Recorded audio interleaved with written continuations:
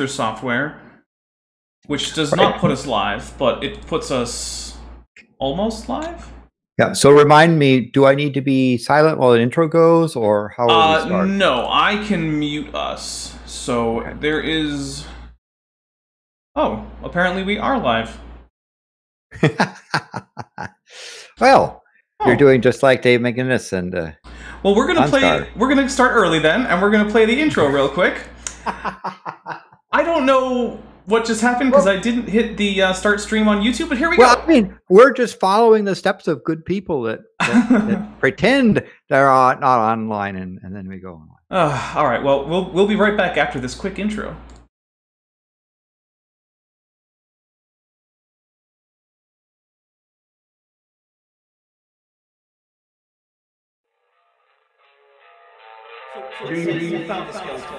Do you, you found the skeleton? How would you tell it's a dinosaur? You personally, how would you decide?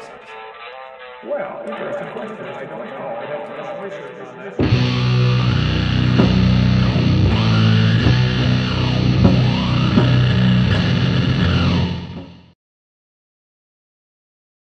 All right, and we are live uh, more intentionally now, but still a little bit early because, um, yeah, yeah, at Hot Mic. It's a good thing I didn't say anything too inappropriate, huh? I mean, I was gonna, I was gonna talk about the porta potty outside, but, but I guess, well, I guess that that will be for another day. Uh, well, I am here once again with Landon Curt Noll. It's been a little bit. Uh, I don't entirely know why, except that I was just busy and I got a lot of live streams that ended up happening, and I was just.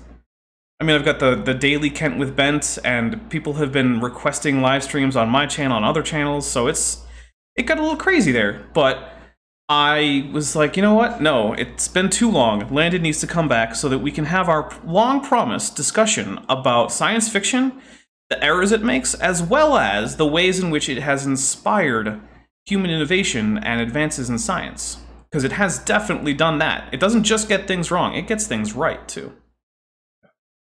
So, uh, good morning, good afternoon, or good evening, depending on your time zone and latitude from your friendly secular astronomer. It's good to be back uh, with a dinosaur, a real live dinosaur. Absolutely. Uh, if people want, if people are questioning, you know, you can see it right there. It's uh, it's on it's on I screen. can I think I can pop pop it up. There there it is. There's me. See? So, uh, so uh, that, that that that's always a, a, pleasure. I, I have so many. I do have questions for dinosaurs too. So, Oh well, I mean, we it- dinosaurs come up in science fiction sometimes. Yeah. So we, we, we could actually talk. Actually, there was a request that we talk about one particular group of sci-fi dinosaurs um, called the uh, the Voth. Are you familiar with the Voth from Star Trek Voyager? I, I yeah, I remember that. Yes. Yeah, that was a. So actually, one of the questions that we I was asked uh, in the comments uh, before we even started uh, was actually uh, how is it that the Voth, being a species of hadrosaurs essentially that had become a sapient civilization on Earth, that left after realizing that the impactor that resulted in the you know KPG boundary was on their on its way to Earth and how could they have uh, managed to leave behind no trace of their civilization? And actually, I don't think we should expect to see any trace of a civilization that had been around for, say, maybe around as long as humans, up to several times as long, simply because everything they built would have simply eroded away, most likely. But I think the residues would be there, and the um, the the disruption. Uh, let's say disruption for for for trying to ma- manipulate one's environment to thrive would be would be there. I mean, that's that's what we see in in, in ontology in terms of, of tool use. Um, we also see um, extinctions of of of critters. Early early humanoids were um, were taking out uh, species uh, right and left, uh, just like we are today, although at not quite as as fast as we do today. Right. Well, I mean, that's certainly a good point. And I suppose, but one of the things I wonder is let's say that a civilization, because it, it seems pretty reasonable to say that uh, up until we get to about that period where we start burning fossil fuels in human history, we're probably not having something that could be identifiable as a civilization as far as impact goes. We, there would simply be, we see a a dip in biodiversity. But that doesn't mean it's a spe- as a civilization, and human archaeological remains probably wouldn't survive 60 million years. So it seems to me that suppose a, a civilization only lasted for as a technological civilization for say 2000 years, which is a fairly long time compared to how long we've been an advanced technological civilization. And by advanced and technological, I mean to the point where we can do things like burn fossil fuels and uh, unlock that vast reserve of chemical energy to get really big stuff done. Would there be much evidence beyond a, a isotopic excursion in the geological record? Well, it's good. That's a that's a good question. Um, one thing that that seems to me is that uh, the uh, prior to you know fossil fuels, you know, petrochemicals. Prior to that, we certainly had a lot of use of coal, and so mining is something that you might um, detect and be which Oh, would see the good point. disruption. Even so, we can see uh, and think about from the the again, it's, it's only two thousand years ago, but things in the Roman times we can detect some of their megastructures, such as roads. Um, and uh, the cities that are in, I mean, the for example, out in Sahara Desert in Libya, um, there are are some pretty amazing Roman ruins. Like some of the best Roman ruins are actually found in North Africa, where the sands covered them up. They weren't looted and and and uh, as, as much. And and those structures, I mean, those the the marble the marble roads that the Romans built out into the desert um, are going to last for for quite some time. And and and and why? Because they're they're they're stone structures, and it's their arrangement that Mhm. we can see as being civilized, even this even though it's it's pre right. um uh good. But but you you you raise a good question in terms of what what is you know, you know is you know how would we detect civilization comes down to what you define as civilization. I mean, would would the Neanderthals and their um their society be considered civilization? Well, so as someone with a history degree, this is actually a question that that uh, I've wrestled with a, a considerable amount. Um, because it's Yes, actually that's, why, that's, why, that's why I ask you because Right. you're a subject matter expert. right. So it's it's actually a really interesting question, and um, one of the things that historians tend to fall back on is just sort of looking at the etymology of the word civilization, because it finds its root in the Latin word for city, and so for most historians, civilizations require there to be some degree of urbanization. So there has to be there has to be a sedentary culture, so they're not nomads. And they have to be building artificial structures that are meant for long-term inhabitation in numbers beyond what can be uh, what is normally the maximum for like a hunter-gatherer group. Because it, as it turns out, fairly consistently, hunter-gatherer groups have trouble getting much past about 80 or so individuals because it's just very hard to coordinate that many people actively. Well, I mean, think in the case of, uh, I'm thinking with you know, when you're testing your your process here.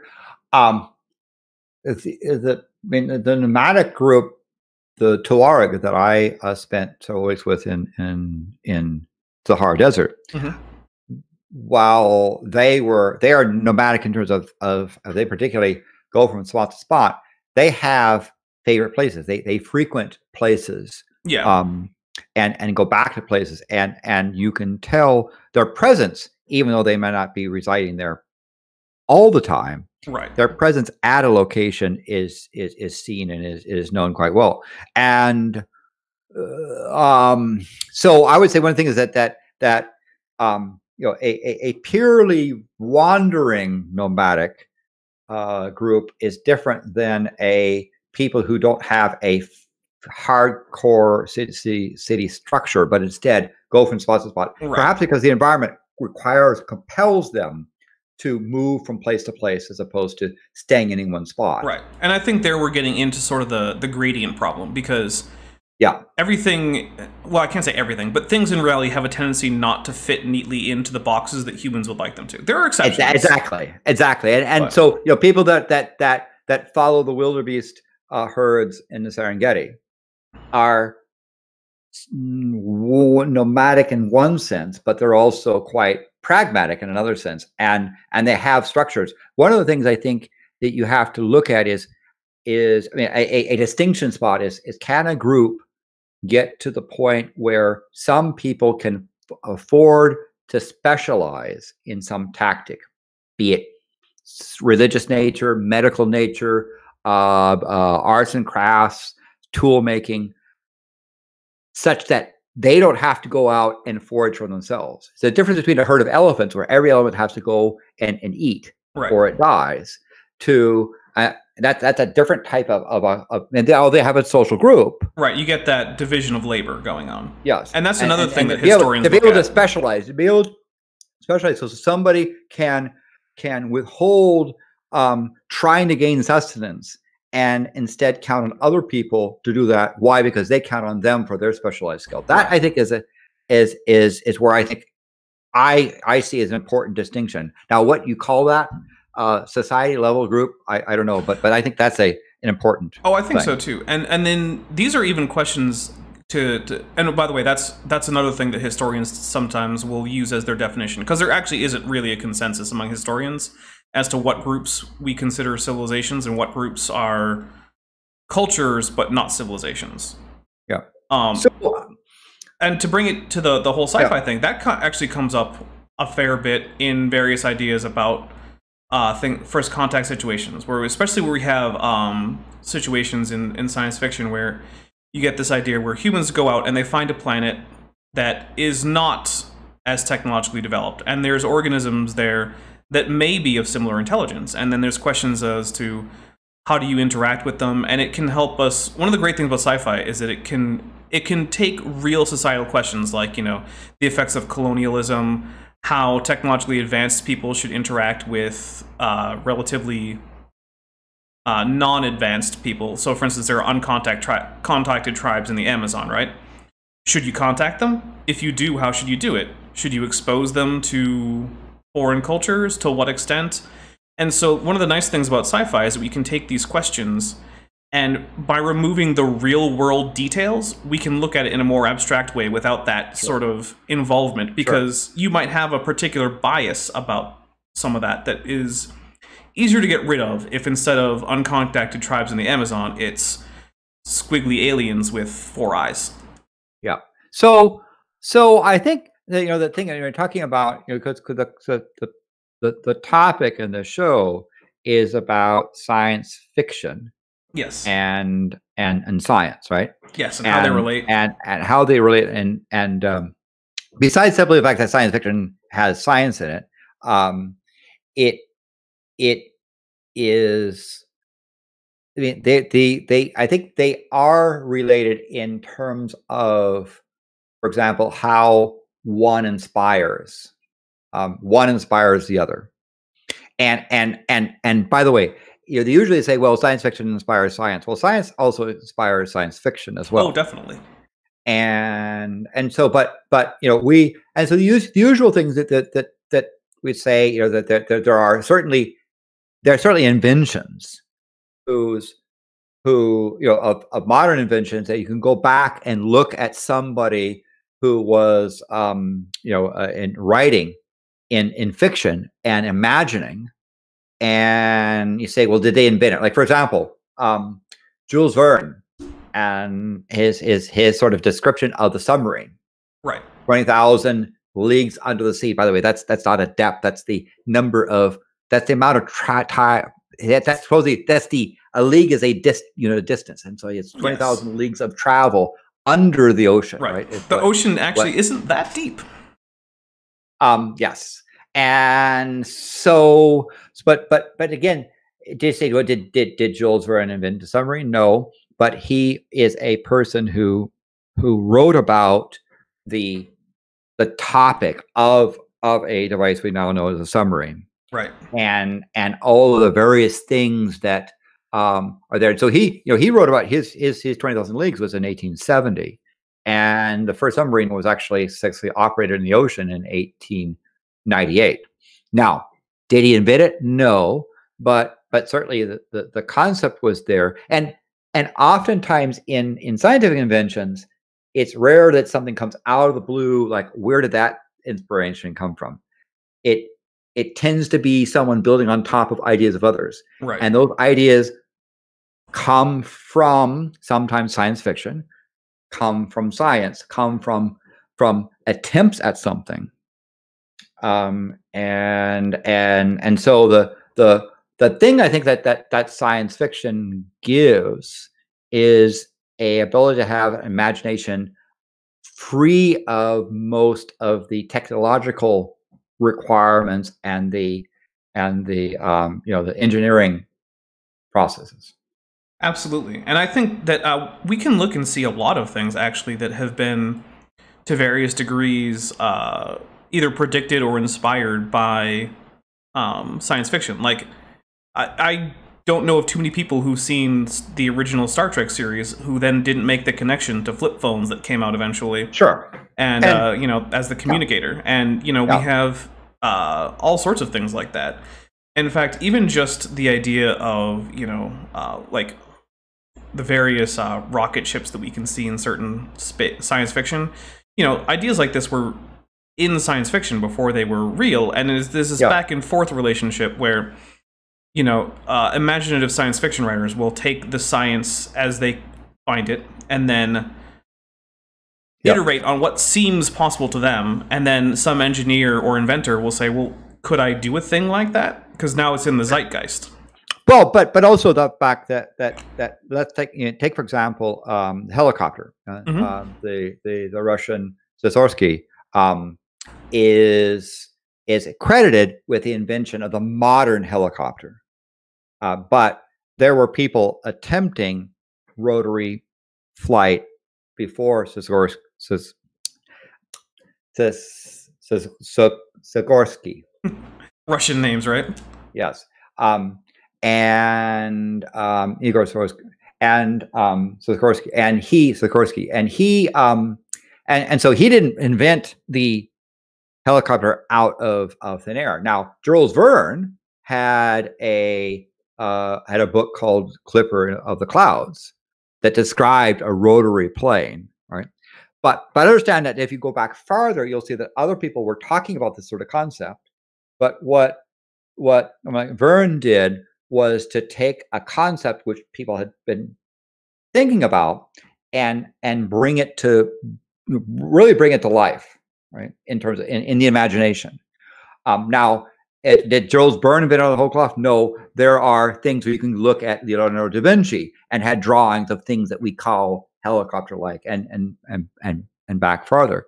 So, in some ways, these kind of inspirations don't come out of thin air; they come out of the of the the the product of the times. The thing that science fiction does for society and for science is realizing what's what's in back in back of people's minds and and putting it putting it you applying pen to it to give it shape and to give it concrete imagination that's i think is the is the is the um you know part of the of the importance of science fiction Yeah, and I think that that's a that's a really important thing. It's not. I mean, it is in many cases just entertainment, but it can also be much more than that. Um, both in terms of social commentary, in terms of inspiration for technological achievement. Um, but we also do have the word errors in here. So, real quick, I want to get at some of your favorite sci-fi mistakes where they got the science wrong and they could have known better at the time. hmm that was i was sort of focusing on all, all of the things they got right but but i think We have to do a little Um, bit of both. I, I, I, I would say that one of the things that that seems to be um, where science fiction runs into problems is when it tries to predict the future, as opposed to it's fiction. Let's explore what this fiction might be like, and that I think that's where science fiction is successful when it tries to become a a prognosticator of truth. Then I think it runs in, into problems. I Um, I tend to agree. And, one thing that's fun is always looking at sci-fi that is dated in what is now the past, and look at their predictions about the future. So flying cars is a is, is one of the examples that science fiction has failed miserably on. Yep. Now, if if what science fiction had done is talked about cars that fly and the society that might the things about society and what it might mean and build stories around it, that would be useful for us to kind of imagine that situation. right, Uh, I think it's when when science fiction becomes tries to state the future and predict the future become try to become when it tries to, to state fact, um, then it's there. I mean, there's there's a there's a there's an old TV series back in the '60s um, called Year 2001, and they talk about predicting what life will be like in 2001, and it's it's kind of a, a a drama type thing and so forth. But again, you look at those predictions and you say, well, you know, it, they would have been better off creatively talking about a a society envisioned in the future rather than saying in the year 2001 we will have blah. Right. Did they get anything right? Because I assume they most things they got wrong. Hey, yeah, it, it, it varies on on on stuff um, Okay. as as as they as they talked about. Um, now, you know, one of the things, another thing is that that talking again about the positive contributions. Um, and again, uh, we don't have to. uh, We go back to earlier items. Um, um, H.G. Wells had a had a, a important novel called uh, about about a Mars invasion called War of the Worlds, and um, it was actually he, he actually released it in, in in 1898 as a as sort of a, a newspaper serialization. You you would go to the newspaper and read the latest, you know, the latest he bit out in bit dribbles and babs to get people to to, to buy newspapers. Um, and uh, no less than uh, Robert Goddard, um, the, the one of the American scientists that built the first liquid fuel rocket, um, launched his rocket in 1926, and he said that rating of Wells's novel was a was a real awakening for him because the concept of interplanetary travel was something that that that you know Wells' imagination he, c- could see in his mind the interplanetary travel and and he could see the value in trying to develop um, rocketry. Now, rockets had been around for a while. I mean, people had fireworks. People in military had basically, you know, things that that that that that, Right. that shot out by propellants. So it isn't the case that that Goddard was inventor of the rocket or Wells. He was the first person to successfully have a liquid fuel rocket launch. But but he he was inspired by Wells to say it's possible that things could go from one planet to another. That's a, that was a possibility that those planets aren't out there beyond our reach. They're they're, they're targets that can be reached.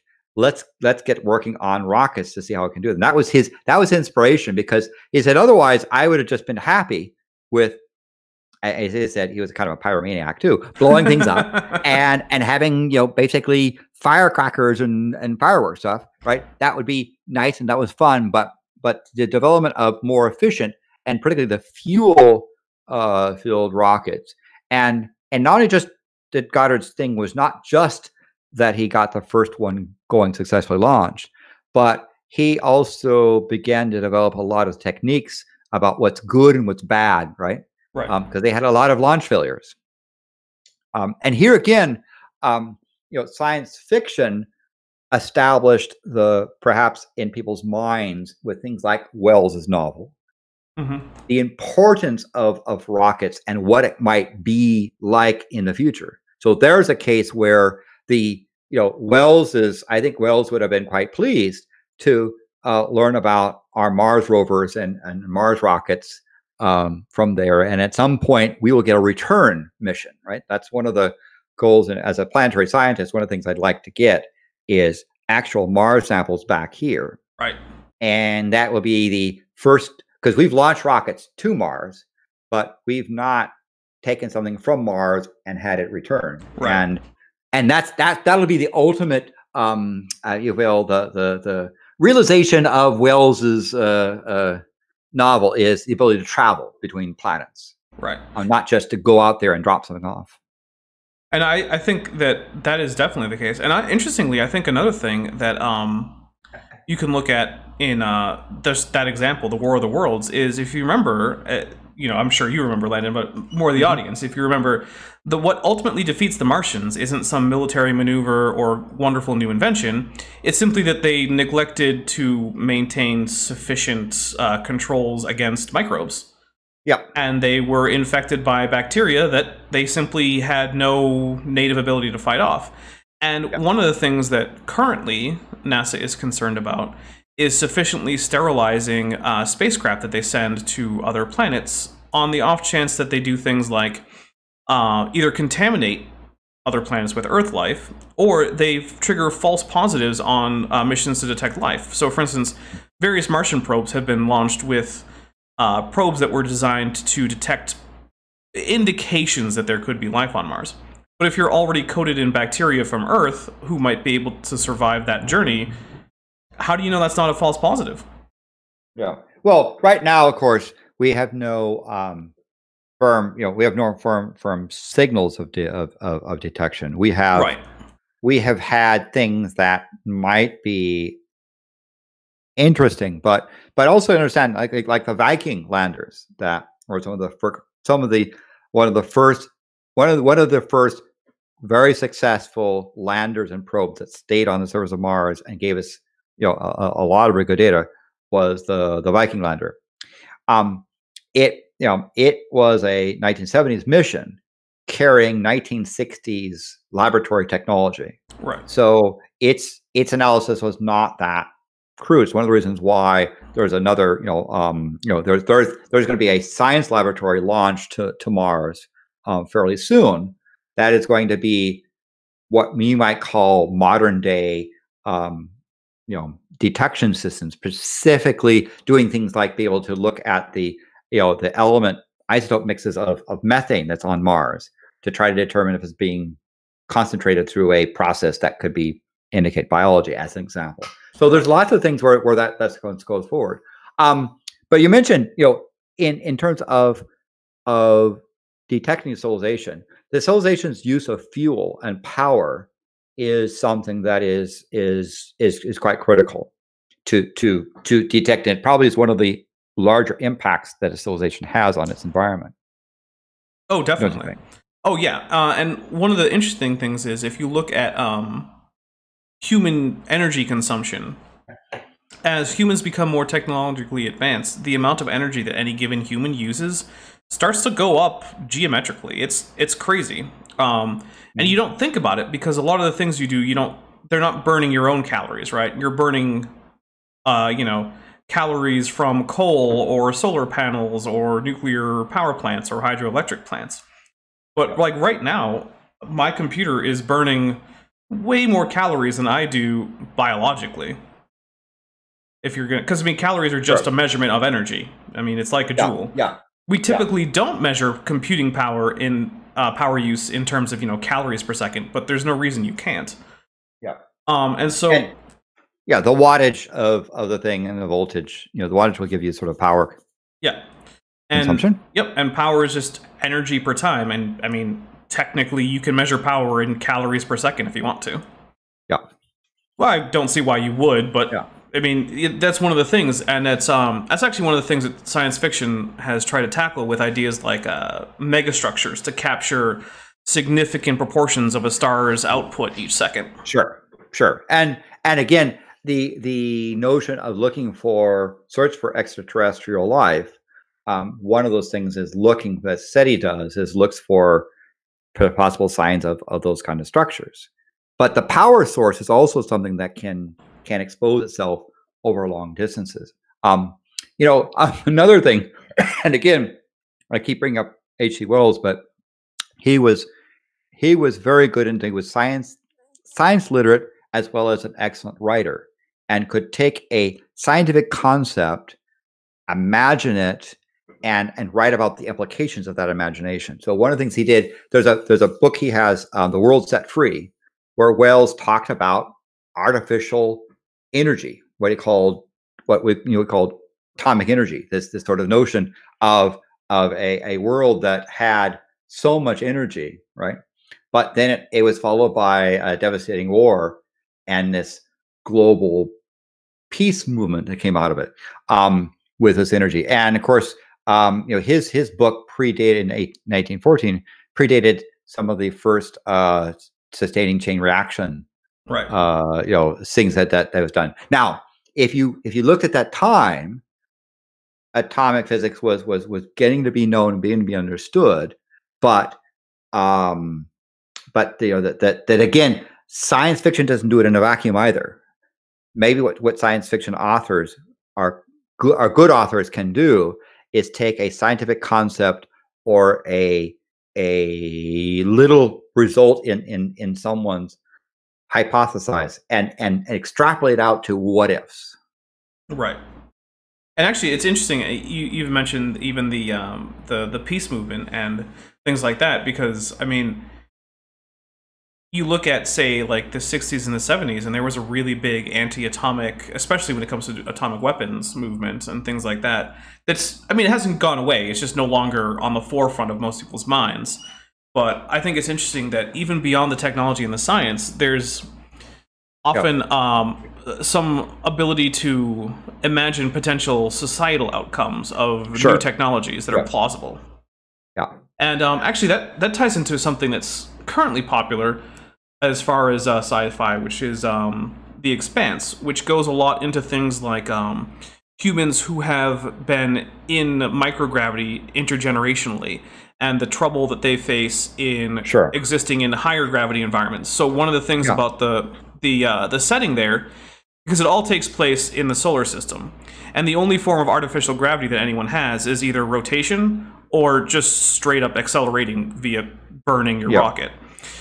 And so most people have grown up in uh, Mars or less gravity throughout the solar system, and they find it extremely difficult to visit Earth. And as a result, uh, many people who grew up on Earth have sort of a superiority complex because they can do things like go outside without an environment suit.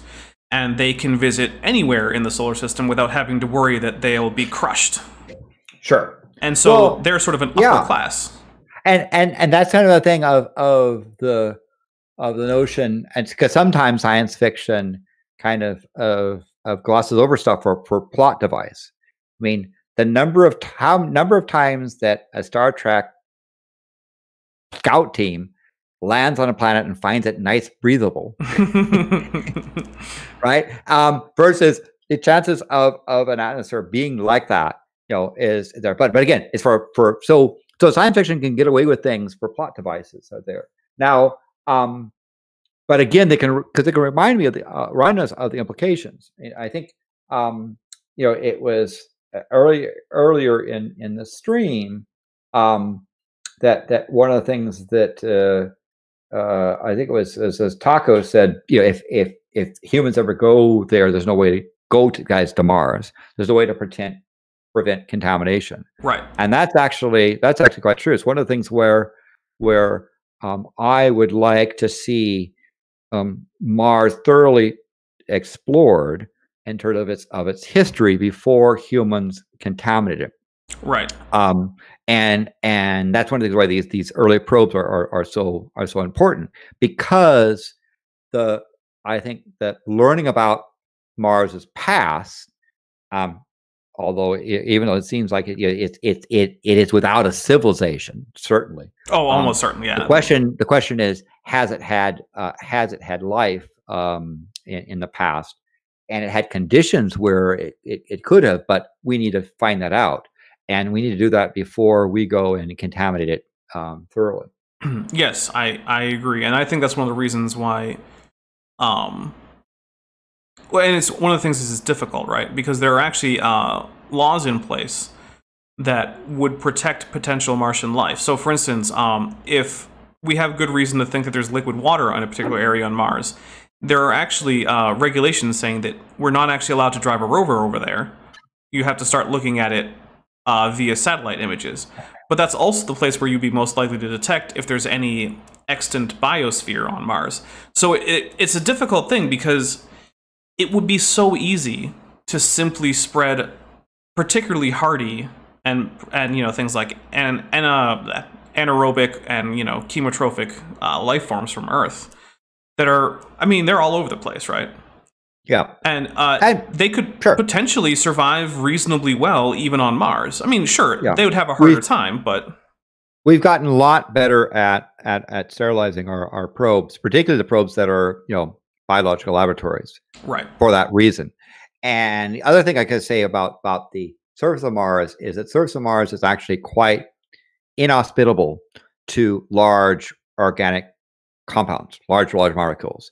and the reason why is that Mars does not have an ozone layer, Right. um, and so the sun's ultraviolet light, um, even though it's it's, it's slightly farther away than Earth, is still a fairly significant sterilizing technique Right.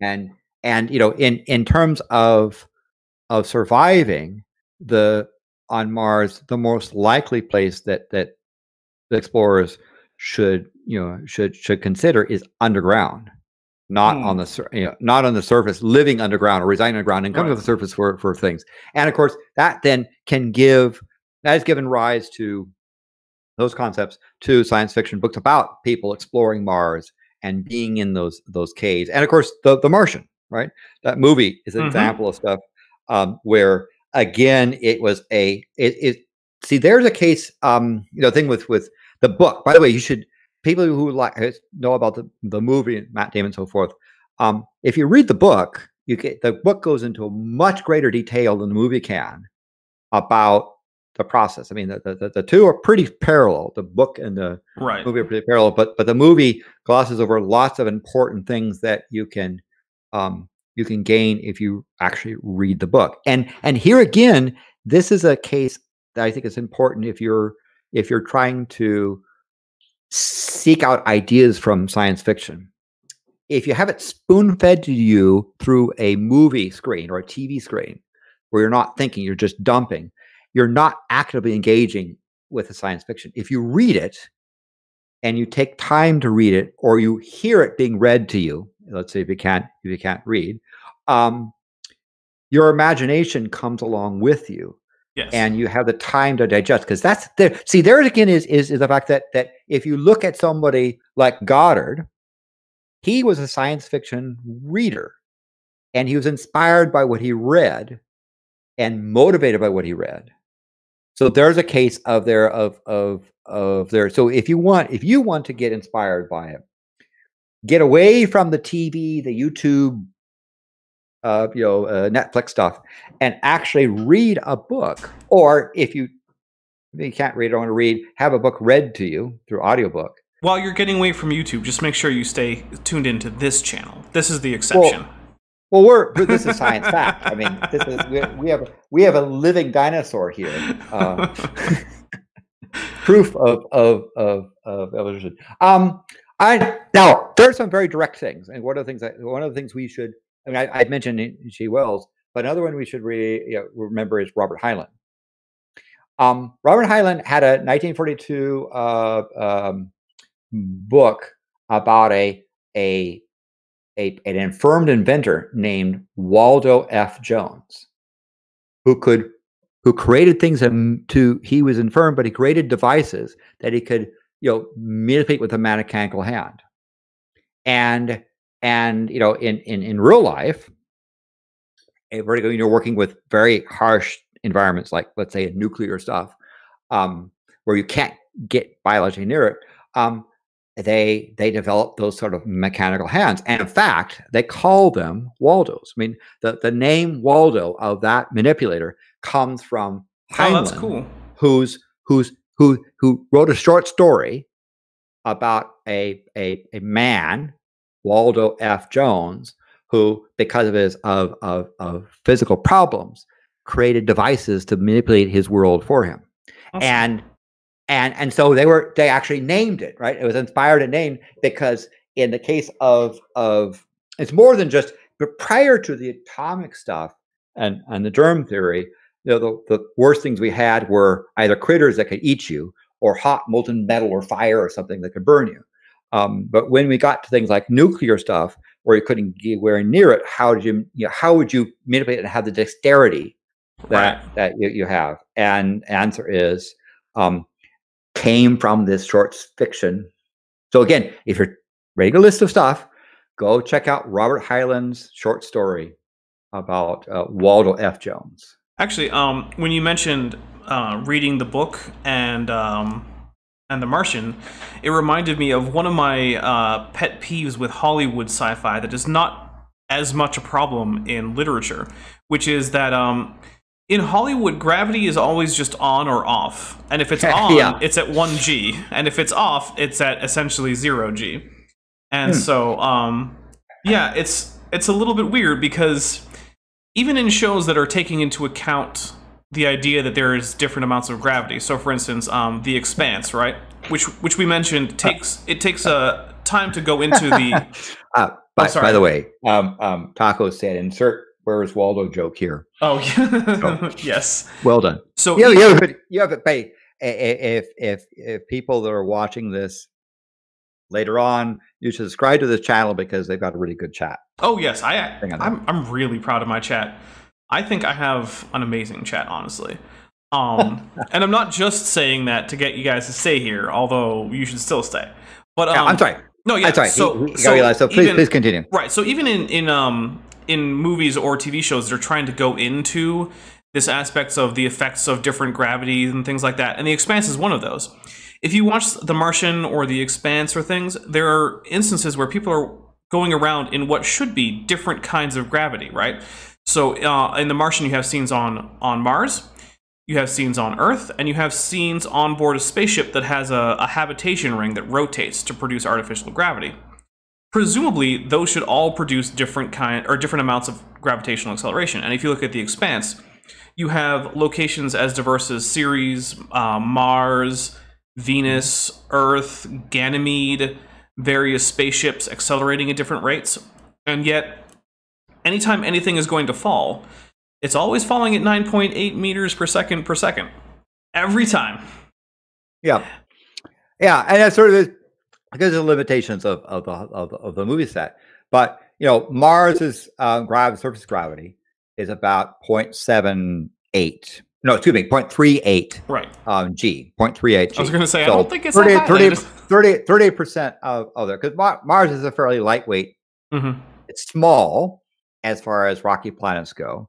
It's almost dwarf planet size, um, and and it's got also not very dense either. It's, I mean, I, I mean that, that Mars is stupid, but that the the material inside the Right. Mars is not It's- packed as, as, as well as as something like Mercury or, Right. or, or Earth. A much higher proportion of its uh, composition is silicates as opposed to But- metals. But one of the things that I think that I wish that that science fiction authors would explore is is you know they have the spaceship and rotating and then somehow that's that's how they have excuses for people walking around like there's gravity. Mhm. Centrifugal force is not a very nice environment acceleration environment to be in. Not at Right. small scales, at least. and and and one of the things in particular is I I don't care how big it is.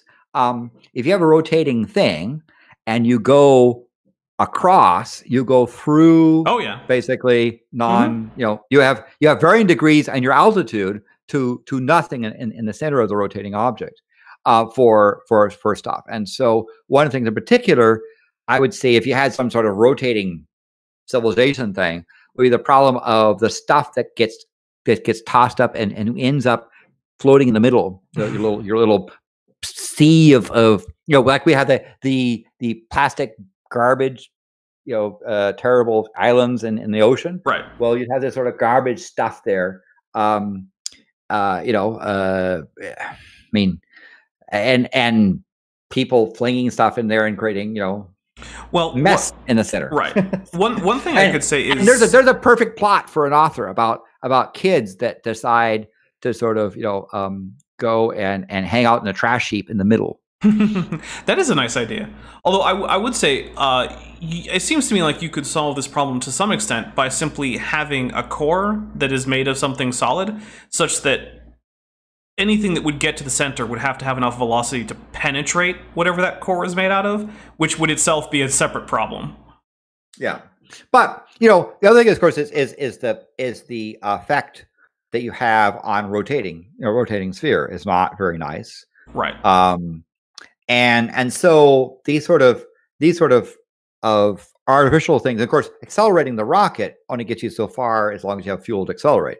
But at some point, you need to decelerate anyway. But that's Right. usually Well, um, actually, I I think you might be interested to know that I have uh, running on my channel a little bit of a uh, sci-fi project that is a it's primarily a collaborative speculative evolution project, where um, myself and my viewers are collaborating together to take a hypothetical alien planet, through about 480 million years worth of biological evolution uh, alongside tectonic plate movements and you know impact events and volcanic eruptions and various things like this.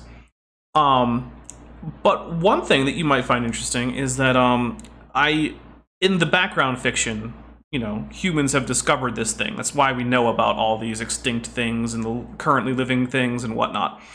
And so i um in the background fiction, I have established that there is an orbital research station. It's quite large, and it's housing several thousand people who either directly do research or perform various services that are in support of that, including various uh, tourist attraction type stuff. So you know, there there are little shops where you can go buy knickknacks from from the planet or associated with it.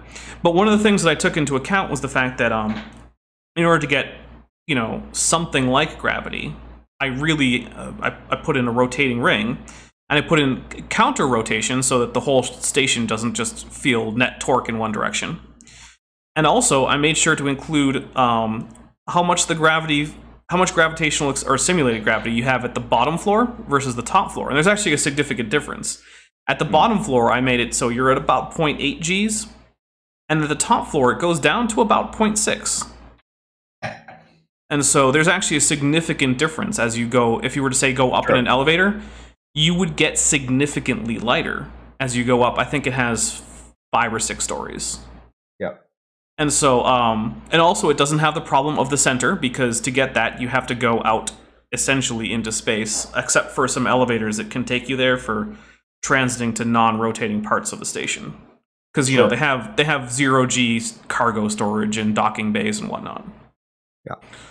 Um, but I think you know the thing that that uh, you know if you say, well, okay, um, the you know the the the, the father of of liquid fuel rocketry was inspired by science fiction author.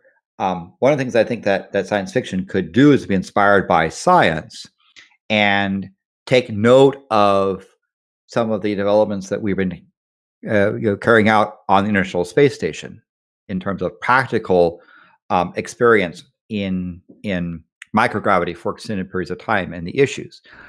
These things are not only quite important for exploring outer space by people, they're also quite important for for for understanding things here here on on Earth. Um, now, you know, we we we know that, for example, um, there, there are several problems with long-term spaceflight, and one of them is the the is the um, bone loss problem, right? That that that it appears that humans, if left to, if we don't intervene, will begin to lose bone mass Mhm. um, in in microgravity over over extended periods of time, such that if you did a you know a two year plus journey to Mars by why would you take that long? Because you don't accelerate massively and then have to decelerate massively. Besides stress on on on humans, it's, it it takes a lot of fuel to do that. Um, so you did a long term thing. The, the the dangers that people have with regards to bone loss are essentially one of the problems that they've had some reasonable levels of partial success at the space station try to overcome. But there also still is the notion of, of radiation. Um, our sun is a nuclear fusion reactor throwing out all kinds of particles. Um, our Earth has a nice magnetosphere um, that is a big, big magnet to deflect some of those charged particles. Occasionally, it gets down close. That's what the aurora borealis is Mhm. of atmosphere fluorescing. On Mars, guess what? You don't have much of a, a magnetic field uh, to, to, to talk about, and so you're you're having those particle streams. That which is part of the reason why the surface of Mars is is is quote sterilized uh, because of that of that radiation. But Right. the radiation traveling out in space, the X-rays and sort of thing you get experience is a is a cancer problem. Um, another area that we have learned about is macular degeneration, right? The, the people's retinas begin to degenerate. Apparently, our eyes have evolved that depending upon gravity and extended weightlessness causes the effect of some of these macular de- degeneration processes. And and there's a very important twin study where, where they had uh, uh, twins, and one went up to station for a year, another stayed at, down down at Earth, and did the comparison of the two, and they learned some very important things about that macular generation. Why, if, if you have vision problems, uh, or you have elderly people that have this macular generation, um, some of the stuff they learn on the space station is helping them try to to process that disease. Finally, um, when I think one of the other other of the big four, um, I've mentioned I've mentioned bone loss, radiation, macular generation is Alzheimer's.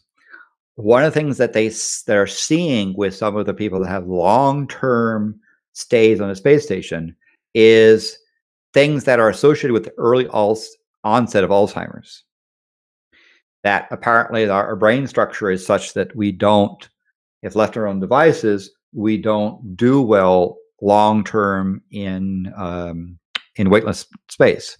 That's actually gotten them quite excited because normally you you, you try to test something, you, you, don't want to go there and cause Alzheimer's or wait for someone to develop it. Um, having these these biological specimens and, and neurons being exposed long term up in the space station is giving them from very valuable research into uh, insights into the brain. Right. Um, so those are things that have to be worked on. If you're talking about reaching for the stars, um, one of the things in particular is you got to be able to build a a a habitable habitable zone.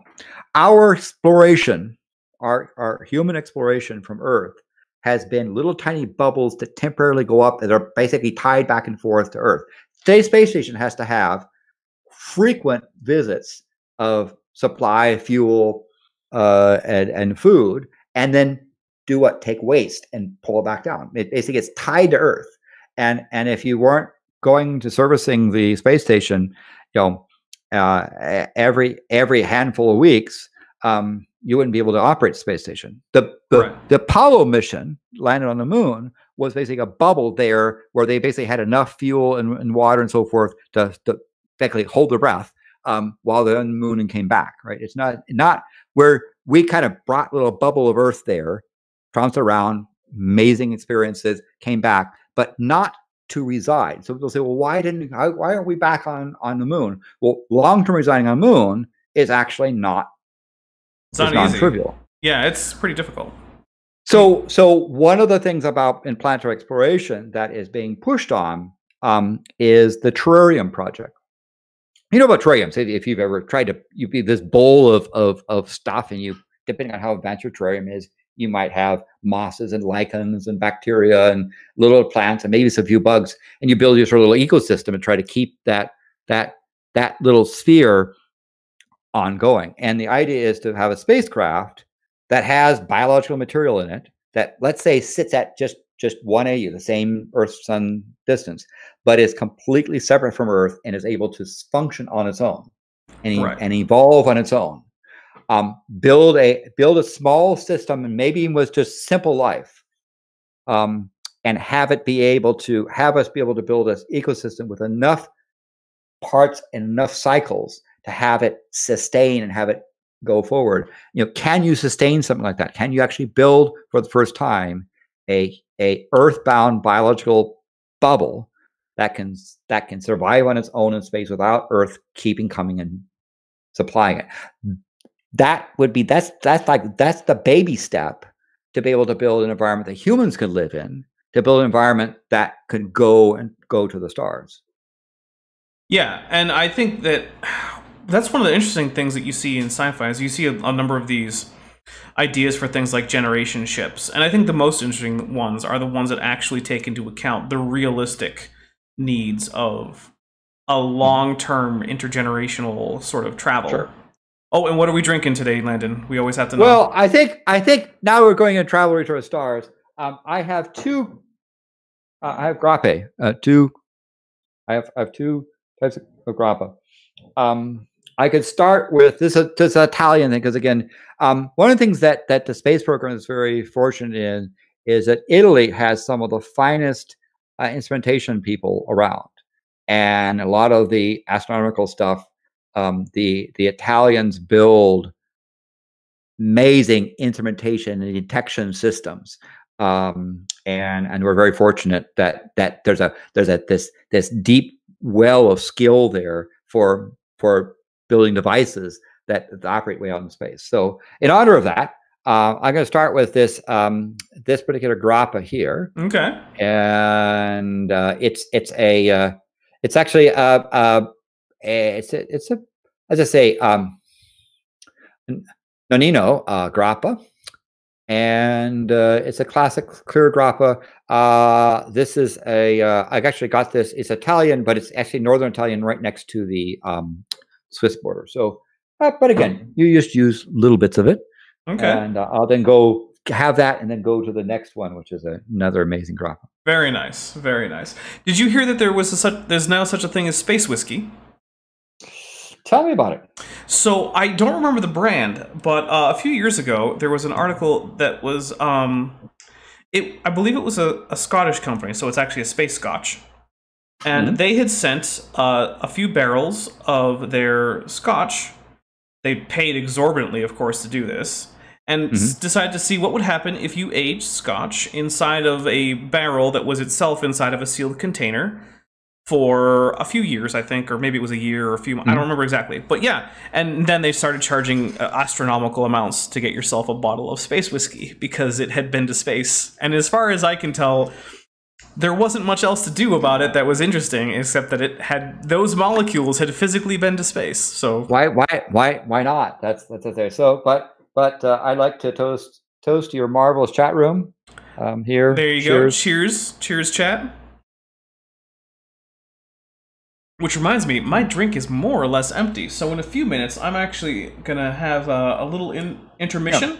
I have a um, an extended intermission video because my last one was like a minute and a half long, which wasn't really enough for me to do anything. So uh, this is going to be the premiere of my slightly longer intermission video. So uh, I hope you all appreciate that. Uh, but I think when we come back, we will start opening up a little bit of uh, question from the chat because as they're you know as far as i'm concerned i have one of the best chats around um i would like to hear what kinds of questions Yeah. they have so, So, and and and as I say, I, I know that we've and, and you have you know have to chat think about the some broader views of of science and science fiction. Um, and and if I can talk about so-called hard science and social science, um, there's a number of things where they're not just it's not just space and rockets and so forth. Although that's I I I, I love that thing, so I'm not at all. yes But, no but certainly in hard science, you know, stuff relating to to planet exploration and and time travel and advanced technology and and weapons, of course, and, and advanced materials and and um also genetics and, and evolution is something that's there. But in social sciences, a lot of stuff about governments, you know, governments of, of, of other civilizations and political ideas and think of reproduction and gender and religion and and and sexuality and so forth speculation in in science fiction on the social sciences as well. Oh we got an update on this on the uh the space whiskey. So apparently it's ardbeg distillery on islay sent a vial to the international space station in a cargo spacecraft in october 2011 so there you go. There's there has been space whiskey. Not very much. Hmm. but uh space whiskey is a is a thing. And uh you know what? That that's actually something that i don't think anyone or no actually it has been gotten into. Um people making illicit alcohol in space is a topic that has been covered in some sci-fi. The closest I got into space is is going when you're down in Antarctica and you're in those, particularly if you winter over or you're in you're out in the. I'm not talking about going along a little zodiac and seeing penguins and icebergs. I'm talking about when you're in the deep interior. Um, you're probably as close as you can to being isolated in space, and and surprisingly enough, um, there is a reasonable amount of alcohol that gets made in Antarctica through different processes. Again, by people adapting what's you know adapting to generate alcohol right Uh, in in there and a thing that in space people would also come up with with more innovative ways to make alcohol um there also are um let's call them because i don't i don't want to be demonetized but there are medicinal herbs that are are are are cultivated down in Antarctica. Um, now realize Antarctica is is not owned by any one country. The the everyone that subscribes to the treaty put their claims in abeyance. So it's, it's a it's a it's a continent dedicated to the scientific and cultural enrichment of the planet, hmm and uh, as such, there's no laws down there. So there's nothing is is illegal. You can't be prosecuted and put into Antarctic jail for something. Now you may come back to your home country and they put you in jail, but that's a different story. But as I say, um, uh, if you if you think about the types of some of the oldest type of professions, making wine, making alcohol, making medicines for recreational use, um, and yes, sex.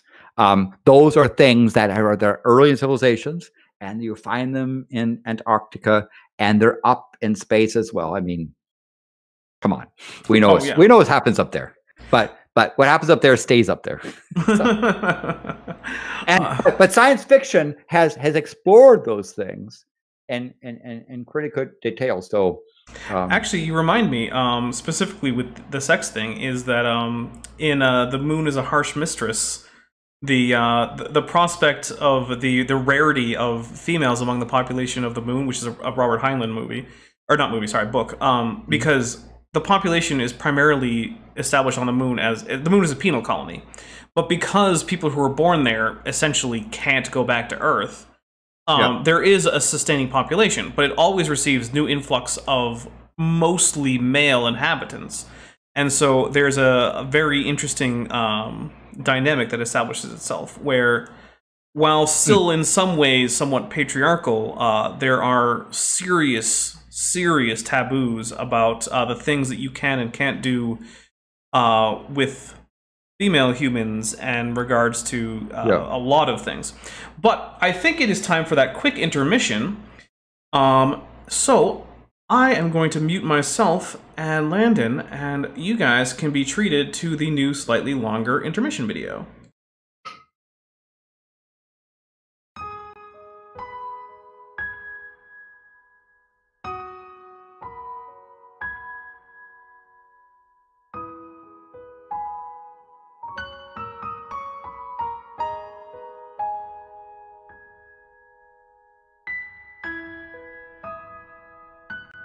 I want to take a moment to talk about something serious.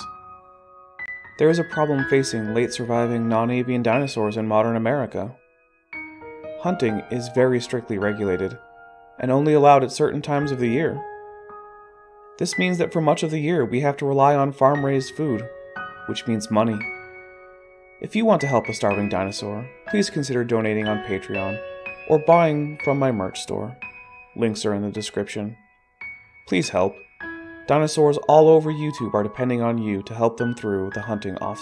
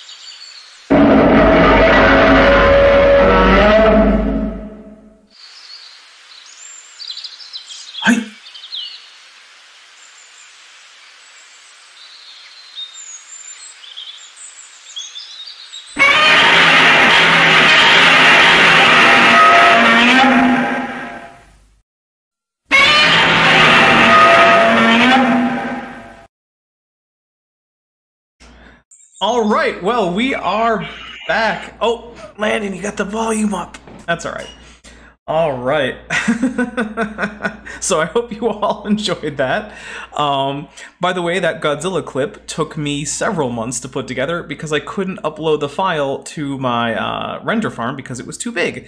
So I had to manually render it here locally on my computer. And now, apparently, I'm hearing something that might be indicating that I have an instance of uh, Facebook open, which, yeah, I'm going to close that so we don't get any more Facebook sounds. Sorry about that, everybody. But um, so Landon, uh, during the intermission, right before we came back, you had mentioned that there was a couple things that you wanted to touch on. So let's uh, let's go ahead. Yeah. Well, because we were talking about inspiration, but we also we should mention that science fiction gets errors, right? Oh, yeah. These these science fiction prognosticators, pretty good prognosticators get things wrong. Um, but but but the one of the things in I think in, in space exploration they get wrong often is Venus being a place of of you know, the the love place of the the, the women's society and all the sort of the marvelous uh, creatures of, of of Venus. Instead of being a hellhole. And yeah, and so we just kind of know like, nah, yeah, no. Yeah. Um, if you wanted to find a place in the solar system that most closely matched the description of hell that you find in uh, like Christian literature, especially the lurid medieval Christian literature about hell, Venus would be the place. Venus. But you know, on the other hand, um, you know, there is a active pros- project to build a rover that can land on the surface of Venus and last for some period of time. That, and that would be amazing. and, and there's you know um, a a collaboration between the Russian cosmologic city of Kaluga. Um, it's where Gagarin, you know, the the house and all this sort of stuff. It's it's a it's a it's a really great place to go if you're into rocketry and and and space stuff. And of course, Los Alamos, which is another great laboratory in the U.S. I've been there. And they're working on doing uh, uh, materials, and they have uh, they have using modern materials. They now have some some very successful rods because they have they have ovens that they can build Venus like atmospheres with all the high pressure, high temperature, nasty acid stuff, and and building a lot of stuff out of you know motors and stuff out of uh, ceramics that can survive in the in the Venus um, temperature. So um, that would be really good because um, it's it's a it's a surface of a planet that's so close that we'd like to get to. But science fiction um, totally blew it as far as what is there. Um, and I think also Mars, the canals on Mars and so forth. But that was inspired by people thinking the lines, which were Right. optical illusions, were were were seeds. But that's a I, I always like to keep it to so when I think about errors in sci-fi, I'm always more forgiving when the error couldn't have been known at the time. yes. Um, and so we get things like um, like the canals on Mars, which inspired things like uh, H.G. Wells, and you know, because the idea was that these canals were being built from the poles to other regions to to provide water to this water-starved, dying civilization on Mars. And so that's the kind of civilization that you might think would invade Earth if such a thing were possible. Sure. And so, um, but I guess I think flying cars are probably the one thing that. Oh, I mean, yeah. You just think about Flying cars would be a disaster. People and give them three, you know, give give give people a 3D uh, driver's license. Oh my goodness. Also, I mean, think about this, no. right? Let's say that you're you're in New York. And you have your nice ground-based car, and you get in, you get T-boned going through an intersection in New York. Worst case scenario, people in both cars die. Okay, now let's say you have a flying car flying up above Manhattan, and you get T-boned. It's probably not going to be just you in the car that's going to die. It's going to be a whole bunch of bystanders. You might crash into a building. I think flying cars are actually a terrible idea. Yeah, yeah. I also want to say uh, hi to David. Uh, Oh yes, and- David McGinnis is here. And and be be sure you understand when you say sorry, you have to say trademark Canada. They have they have a trademark on. It's true. on- And actually, I want to. I want to acknowledge we got a, we got a fair few people here. We I've seen uh, Mank Yeah. Deems. I've seen What? Miguel. Uh, Eric Ve- uh, Viertaler Oh, is here. Actually, Eric Viertaler and I are working on um, a stream on Saturday with Erika from Gutsick Gibbon. I don't know if you've uh, you've met Erika Landon. Oh, I, we should at some point. You should. Uh, she's a master's student in primatology right, right now. She's uh, doing her final project, which has unfortunately been tragically delayed because uh, originally she was supposed to travel to uh, Malaysia to study a, a resident population of. Honestly, I don't remember what species of monkey Yeah. it was, but of course, due to current events, that has uh, been indefinitely delayed. So, Yeah. But um, Yeah. we are hoping to uh, get a stream together for Saturday where we are going to uh, take a virtual tour of a creationist museum. Ooh, excellent. yes, we've already done one part of this tour. They and uh, so over the course of this week, I'm going to be looking at a few more of the videos that they put up. So I want to give a shout out. Also, we have uh, Maya is here, and Maya is uh, you know one of my most loyal uh, moderators. She is here for virtually everything. So uh, yeah, I just want to give a shout out to chat. And just just just clarify because I know you know I was I was permanently banned from YouTube for making a joke about Australians allegedly. Um, so when I was saying sorry, trademark Canada, I don't mean that Canada is sorry. Um, I mean that Canadians they say they they seem to culturally say sorry a lot, right? And They so do, they have they have they have trademarked it.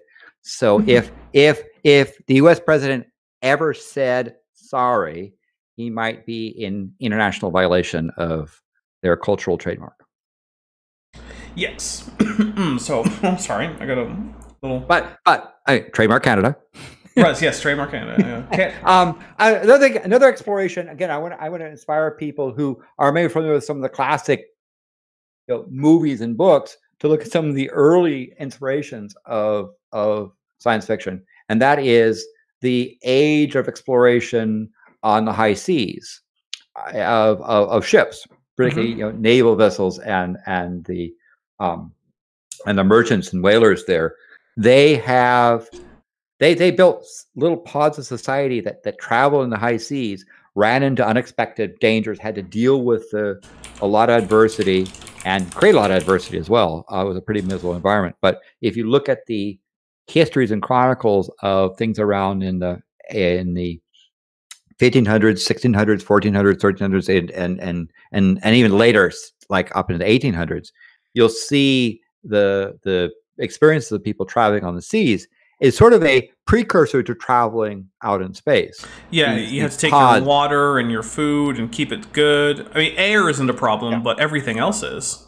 And if, for example, on on on British naval vessels in the 18, you know, around let's say around around the late 1700s, early 1800s, um, they had various um, norms of behavior that were induced by the fact that you know talking about certain things created problems. You were going to have to be on this group with a group of people for months at a time, and and so they particularly said no discussion of politics and no discussion of religion.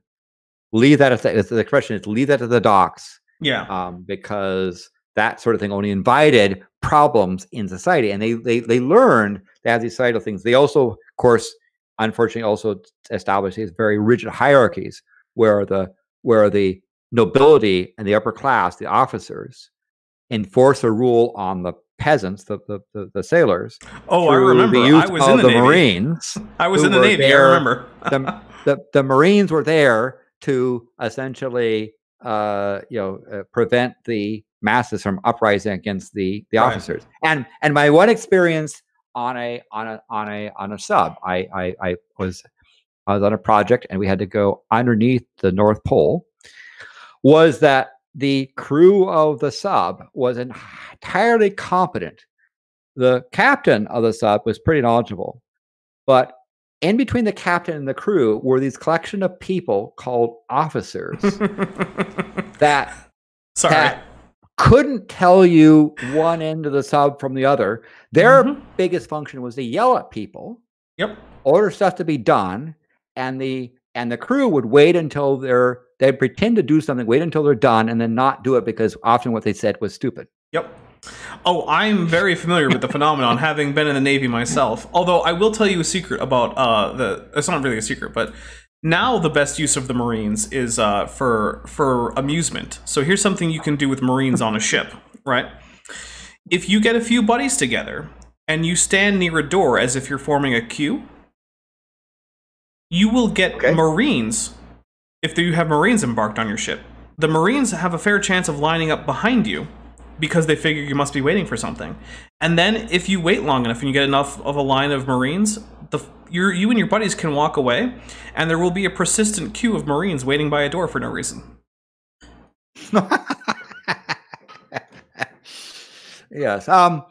I'm sorry, Okay. sorry to my brother I- I- who sometimes I- watches these. My brother was a I Marine. I mean, I mean no disrespect to to the Marine Corps on there, and in fact, um, in the case of the British Navy, they had a per- for important function because the people who had the knowledge about navigation and how to manage a ship and all the complex, um, you know, supplies and so forth and charts um, needed to be protected from the from essentially the impressed. You know, because a lot of the sailors at the time in the British Navy were essentially people that were given a choice of of hanging or go on on board a ship, or in some cases not given a choice at all and just were Right. put on there. So so it was a floating jail in some sense, yeah. and and so um, if you're thinking about if you think about science fiction and a long term space colony, read about the lessons uh, the, of of humans actual humans on on some of these vessels Mhm. and how things operated, and then extrapolate that to a modern day thing with a with a multi-dimensional spaceship, So our, our and, first, and tell me tell me where your story goes. so our colony ship should make sure to bring plenty of plenty of limes. Is one of the Yes. things. Yes, that's a that's an important lesson learned. And actually, um, TD Lane says apologies to Dapper's brother because uh, my brother, who's been on this channel, by the way, um, or rather one of my brothers, is a uh, a former Marine. So he was on an episode of Leaving Young Earth Creationism uh, because he also did that. It wasn't just me. So um, yes, and also he he appeared with one of the best mustaches to ever appear on my channel. Wow. Oh yes, he he. Uh, now this is bad The news, professional. chat. I did a video chat with him uh, this Sunday, and uh, the mustache is much reduced. So Ah. F's to pay respects to my brother's uh, glorious mustache in the chat. Is is there any effect on on mustache growth in the in space? I haven't heard anything about that. Um, I don't know. Because because they usually on on, on space stations they sort of shave it off in part because of things like having to put masks on and things like that. But but um, Well, I Yeah. yeah, I don't know. Um, yeah, I've never heard anything about hair growing particularly or noticeably faster or more slowly in space, but I Yeah. I don't know. Uh, if anyone in chat wants to find a, a link on that, um, no, it's Eric Vertaler. It's not shaved; it's trimmed, but it's trimmed considerably back from where it was. yeah. By the way, I've Um, been I've been reading the the the Canadians discussing sorry like there it is. It's and and let's say that's that's it's anyway. It's a fascinating culture. Well, I Um, will say we do actually have a Canadian who does technically have a, a, the link to this, and so if that particular Canadian decides to jump in, we, we might be able to ask one directly. All right. So so to talk about questions for the uh, audience. Yes. And and and I'm going to gra- gra- um, go for this grappa. Oh, This is a really nice uh, Rosano grappa. Um, and this is made from from the the the uh, a, a particular type of uh, of of, of grapes uh, in Piemonte region of, of Italy, and it is an amazing. It's aged in in in barrels um, because that, that lovely color. So That is nice, and I also like that. You know, we've we've got the label Aquavit, which you know, the water of life. You need this Yes. stuff. You, you'll die if this you, is if you don't this get is enough. this this is our this that particular distillery was established in 1779. oh, it's in probably Italy. Aquavite because it's Italian, and I'm I'm in French mode Yeah. for no reason. That's fine, but but Piemonte is actually one of the more French-like regions of Yeah. Italy. Well, actually, I- Or Oh, sorry. One time I was uh, I was trying to read Italian, but for some reason I was tr- my my brain had shifted to French, and I was like, why does this not make any sense? And then I, I stared at it for a little bit, and I was like, oh wait, no, it's Italian. And so I, I shifted brain gears a little bit, and then I was once again able to because I can I can barely speak a word of Italian, but I can read it reasonably well. yeah. So All right. So what kind of questions we have uh, from the audience? Let's see if they can answer. absolutely. So yeah, um, so we do have one. We might have answers, and some of the answers might even be correct, but others are. That's always Like a possibility. Uh, so I just do I do want to say uh, for questions, I my normal thing is I go in the order that they're asked, unless there's a super chat, in which case that will jump up to the top of the queue if there is a queue. So if you donate, you can get your stuff to the front of the line. Yeah, although the line isn't usually super long. And I'm, I'm going to also take this opportunity to say, hey, hit the like button because I have 24 concurrent viewers and only 17 likes according to my YouTube page here. So come on, guys, give me give me give me a break here. Anyway, uh, from Don Giovanni, which is uh, an appropriate name given your your beverage right now, Excellent. uh, we have Wonderful Italian name. exactly. What Cheers, do you? Don. Oh, cheers. Oh. Oh, and by the way, I am drinking a gimlet. Ah, excellent. Yes. Uh, which, in case anyone doesn't know, because it's actually a fairly obscure cocktail, it's uh, roughly equal parts gin and lime, with um, usually you do like two parts gin, two parts slime, and about one part simple syrup. So, um, oh, and I, I am seeing more likes now. okay, so uh, from Don Giovanni, what do you think of the idea of 3D printing human genetic material and growing colonists on site? So uh, that's a interesting thing because in terms of building complex molecules, printing them um, like a 3D printer manipulates um, may be somewhat in, inefficient, but um, being able to manipulate molecules in atomic scale and having that be a catalyst is probably a much more efficient way to do that. And so some of the some of the manipulations of it that that you can do with some of these atomic force uh, probes to move ions around and build molecules is is one way to start something and then use a catalyst to try to replicate that. Um, but in terms of the energy necessary to sort of build a, a just even a, a, a simple cell from uh, first atomic principles would be quite enormous. I I suspect that if you could have other places of biological accelerations instead, you might be more efficient. But it's it's a clever idea. Yeah, I, I think the more generalized idea of growing colonists in situ is an interesting one. Um, I do think, though, that in order to get reasonably well adjusted adults out of this situation, you would need to have people who are dedicated to rearing these children. And I do wonder to what extent they could rear them at a rate higher than would be just biologically feasible Sure. under normal reproduction because Sure. I mean, anyone who's raised kids will tell you, you know, if if you try to raise, you know, 15 kids who are all about the same age, I mean, that's that's going to be quite a task, and you need to be able to give them all enough attention for them to become uh, well-rounded adults. So it's an interesting idea, but I do wonder to what extent can you actually accelerate the population growth through this technique? Yeah. Although, so what's more dangerous, a self-driving car or a self-parenting robot? I would say the self-parenting robot in the long term. um, and but television. well, one thing that I would say um, that that idea could allow for is uh, you could allow for a higher amount of genetic diversity because you could include the genetic uh, template, I suppose, of a much wider range of humans genetically than could feasibly be put on the ship as adults. Hmm. So it could help with genetic diversity, even if it doesn't help with the acceleration of the population of a new colony. So I think that would be where the real utility comes in. Would be with storing a a wide range of genetic templates that you could then Yeah. build from.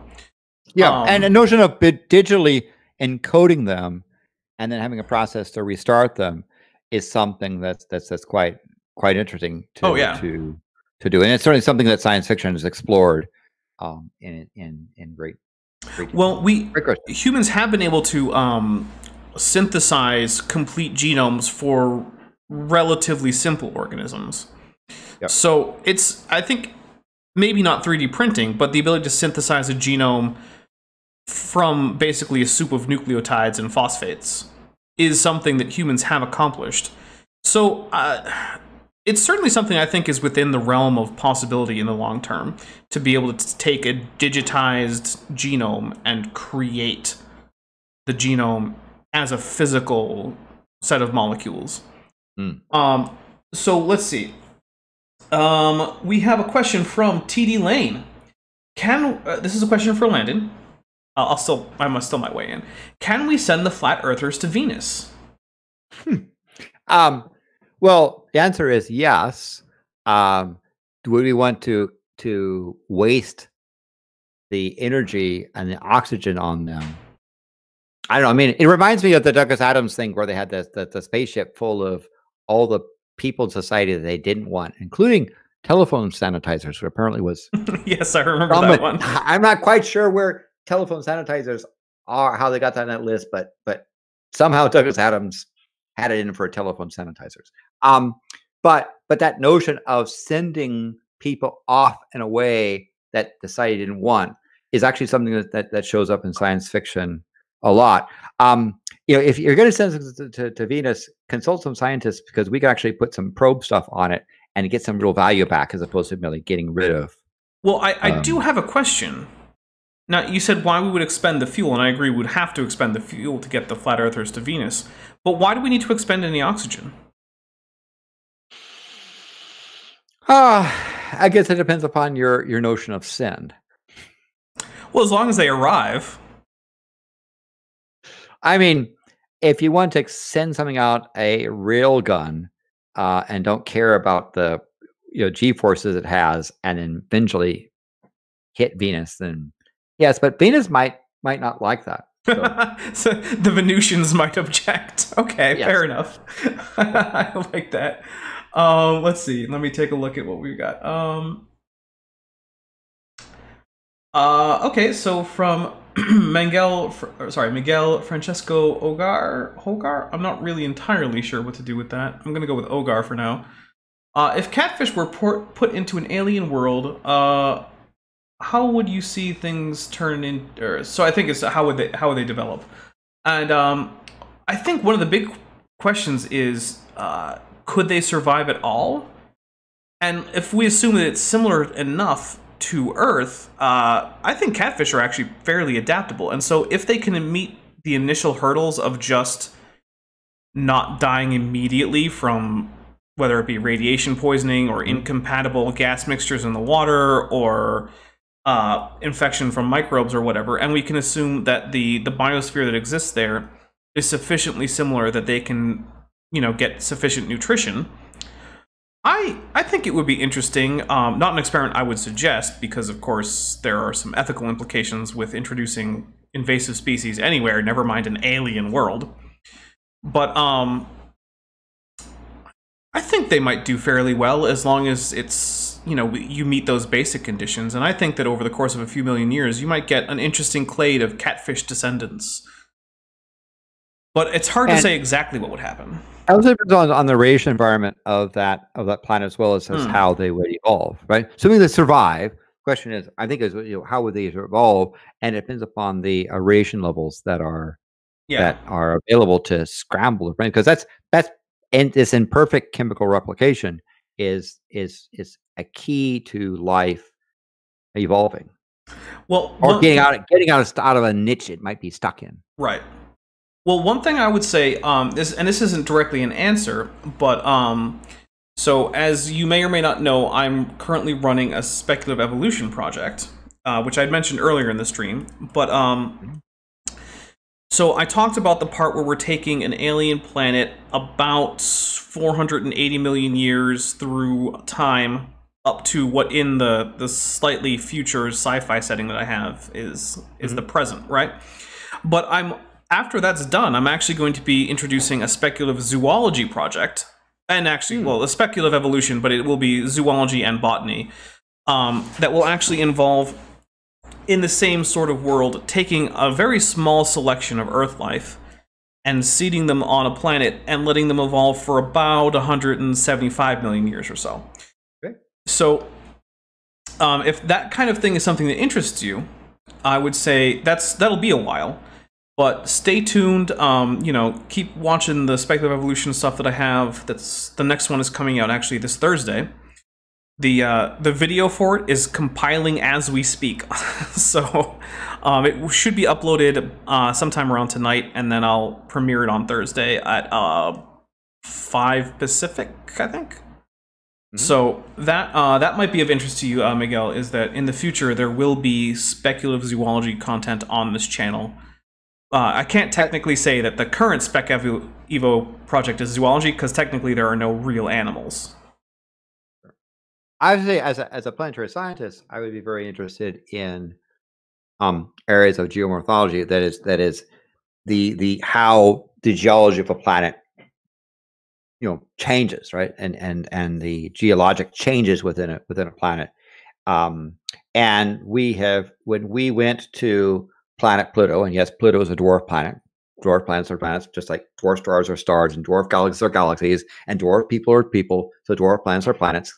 Um, and and and, and even Tyson is getting to get over that. Um, but but but when we we thought we understood Pluto or the type of world it was until we visited it, we found that it was a active geological planet Yeah, with surprising amounts of, of, of features. And that's just one example of we thought it was this, but but but turns out reality is is quite surprising. So one of the things that that, that to try to explore some of these exoplanets, these planets orbiting other stars, is to sort of find how well how can planets change? What what what is you know from their formation to you know through through the the, the life cycle of the star? What happens to those planets? Because that's going to have an impact on your society, your civilization, or Yeah. if you have one, or even life. Life's ability to to to, to start. Well, Landon, if you'd like, um, I I will be very shortly looking for people to consult with about things like uh, geology and plate tectonics and stuff for the speculative evolution project. Mhm. So, um, I would I would say you know maybe you could be someone who uh, helps us out with that. Yeah, I can give you some some parts of stuff, but understand that, and this is one of the things why we want to explore space is that our biases are earthbound. That's our experience, and we just assume that something 40 Kelvin can't be active. Well, it turns out we were wrong. So, Yeah. so, so, so, so treat Pluto with some respect. A dwarf planet, but by the way, most most rocky planets are dwarf planets. Yeah. Earth is kind of the oddball. Pluto is the more common. Uh, take that. From TP Seeker, we have thoughts for the poor tardigrades that were part of Israel's uh, moonlander that crashed. Yeah, press F in the chat for the poor tardigrades. Yeah, um, they seem to be hardy, but there's a there's extent at which they are uh, able to be hardy. And I understand. I I, I asked because we we I, I consult with um, astrobiologists. Yeah, that's a actual field of people Mhm. who are, are are understanding and looking at the biology and considering the biology in in the cosmos in general. And and their comment is that that those critters are um, likely going to be in permanent. Um, they, they basically go into this this state of suspended animation, right? Yeah. They're they're leave they're kind of dead, if you will, um, but revivable. Right, but And they so- likely never will be revived, I suppose. And so, unless you went to Mars and and picked up the stuff and revived them, Or the they're going to stay. Or the moon, excuse me, moon. uh, That, it was moon. It was moon. Um, unless you go to moon, they're likely going to stay in that state um, forever as a sort of non-animated, uh, formerly live critter. A, a memorial, if you will, to the noble but flawed attempt of an Israeli company to reach the moon. Yeah, and and it's, and it goes back to say is that that space exploration is hard. Oh yeah, I mean, It's getting we're getting better at it, but but um, the the Apollo mission was an extraordinary uh, achievement, and you know hopefully we can do more amazing things like that in the future. Well, one thing I would say, um, if you think that space exploration is easy, my recommendation is get yourself a copy of Kerbal Space Program, which is a Yes. New- Newtonian physics-based space flight simulator. Attempt to do all sorts of missions, and then realize that Kerbal Space Program tones down the difficulty by several orders of magnitude. And then Yeah. get back to me about how easy space exploration is. because because I say that that that thing I always want to do in in, in Kerbal is to not is to basically land on remote planets or the moon. You know, Mhm. that's that's what I wanted to do was I wanted to reach out to the to to the other planets and uh, and that's again that's a non-trivial uh, problem. And of course, if you throw in the mix um, having a machine that works, right.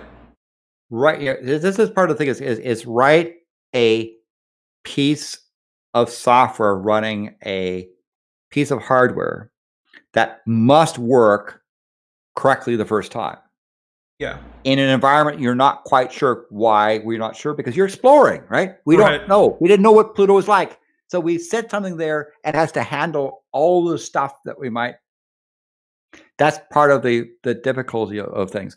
Um and that's one of the things that i think it would be i think science fiction authors have to assume success of a mission because if every mission was they well rocket launched and they died rocket launched they got in space a little bit and then they died rocket launched and it blew up Eventually, you're going to run out of volunteers. you're going to eventually run out of stories. You're going to run out of people, readers saying, "This is pretty boring." Um, the number of, I mean, the number of probes that didn't really make it to Mars in a very good spot that we sent is surprisingly embarrassing for a technologically advanced, so unquote, um, uh, Right. group. So, so, um, so one of the things you find in in science fiction is they have to, if they just if it was mimicking real life too much, there'd be also be long periods of nothing going on.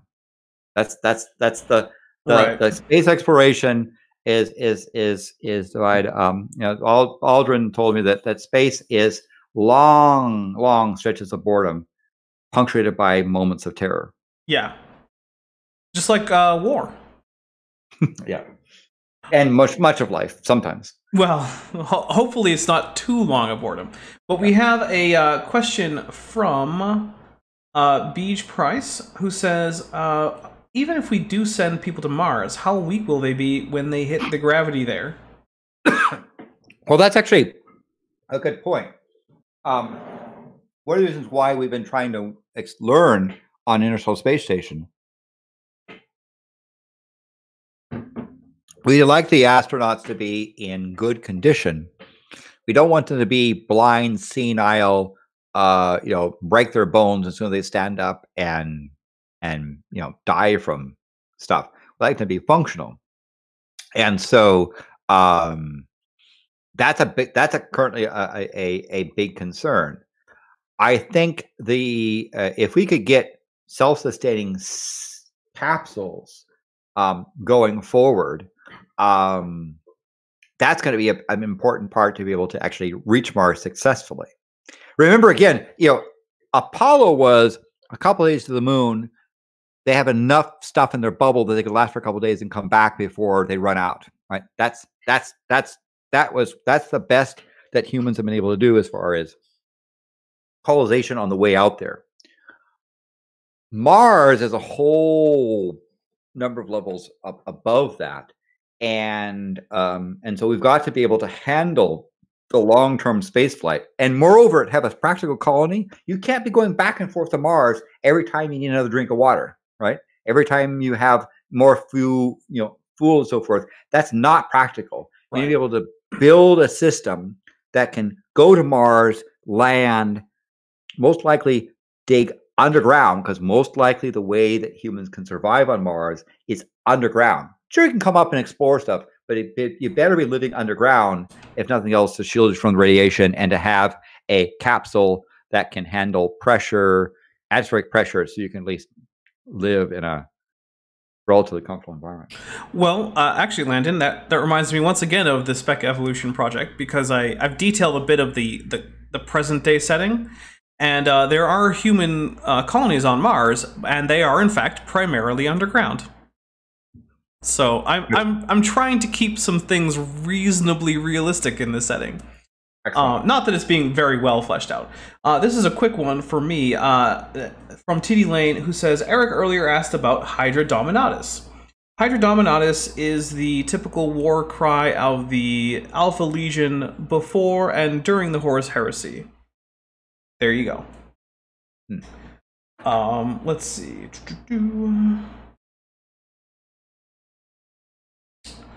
Uh, TD Lane moves to include Eurypterids in the selection for the speculative zoology project. I think they were already extinct by the time I selected organisms to seed the planet, but I will double check. If not, then I will put them in there. okay. Uh, let's see. We have an Ola from the Deviants. What's up, the Deviants? Aw, man, how you been doing? You know what? I need to, uh... I need to get back Hey, on your channel. Super chats work too. Oh, yeah. get- hey, you know you- what? They don't have to give me money if they don't want to. It's fine. But but, but I'm just I'm just pointing out they work. It's true. Uh, let's see. What else do we have? Don't let me get to the bottom of this chat, people. Ask questions. Oh, and of course, um, YouTube just shot me to the bottom. Uh, let's see. Hmm. So we have a comment from TP Seeker. I'm not sure if it's a question, but it sounds interesting. The Medaka fish, a freshwater fish native to Asia, were sent into space to see how microgravity impacts their impacts marine life. Particular how, particularly how their skeletal systems change in a weightless environment. Uh, apparently, it died.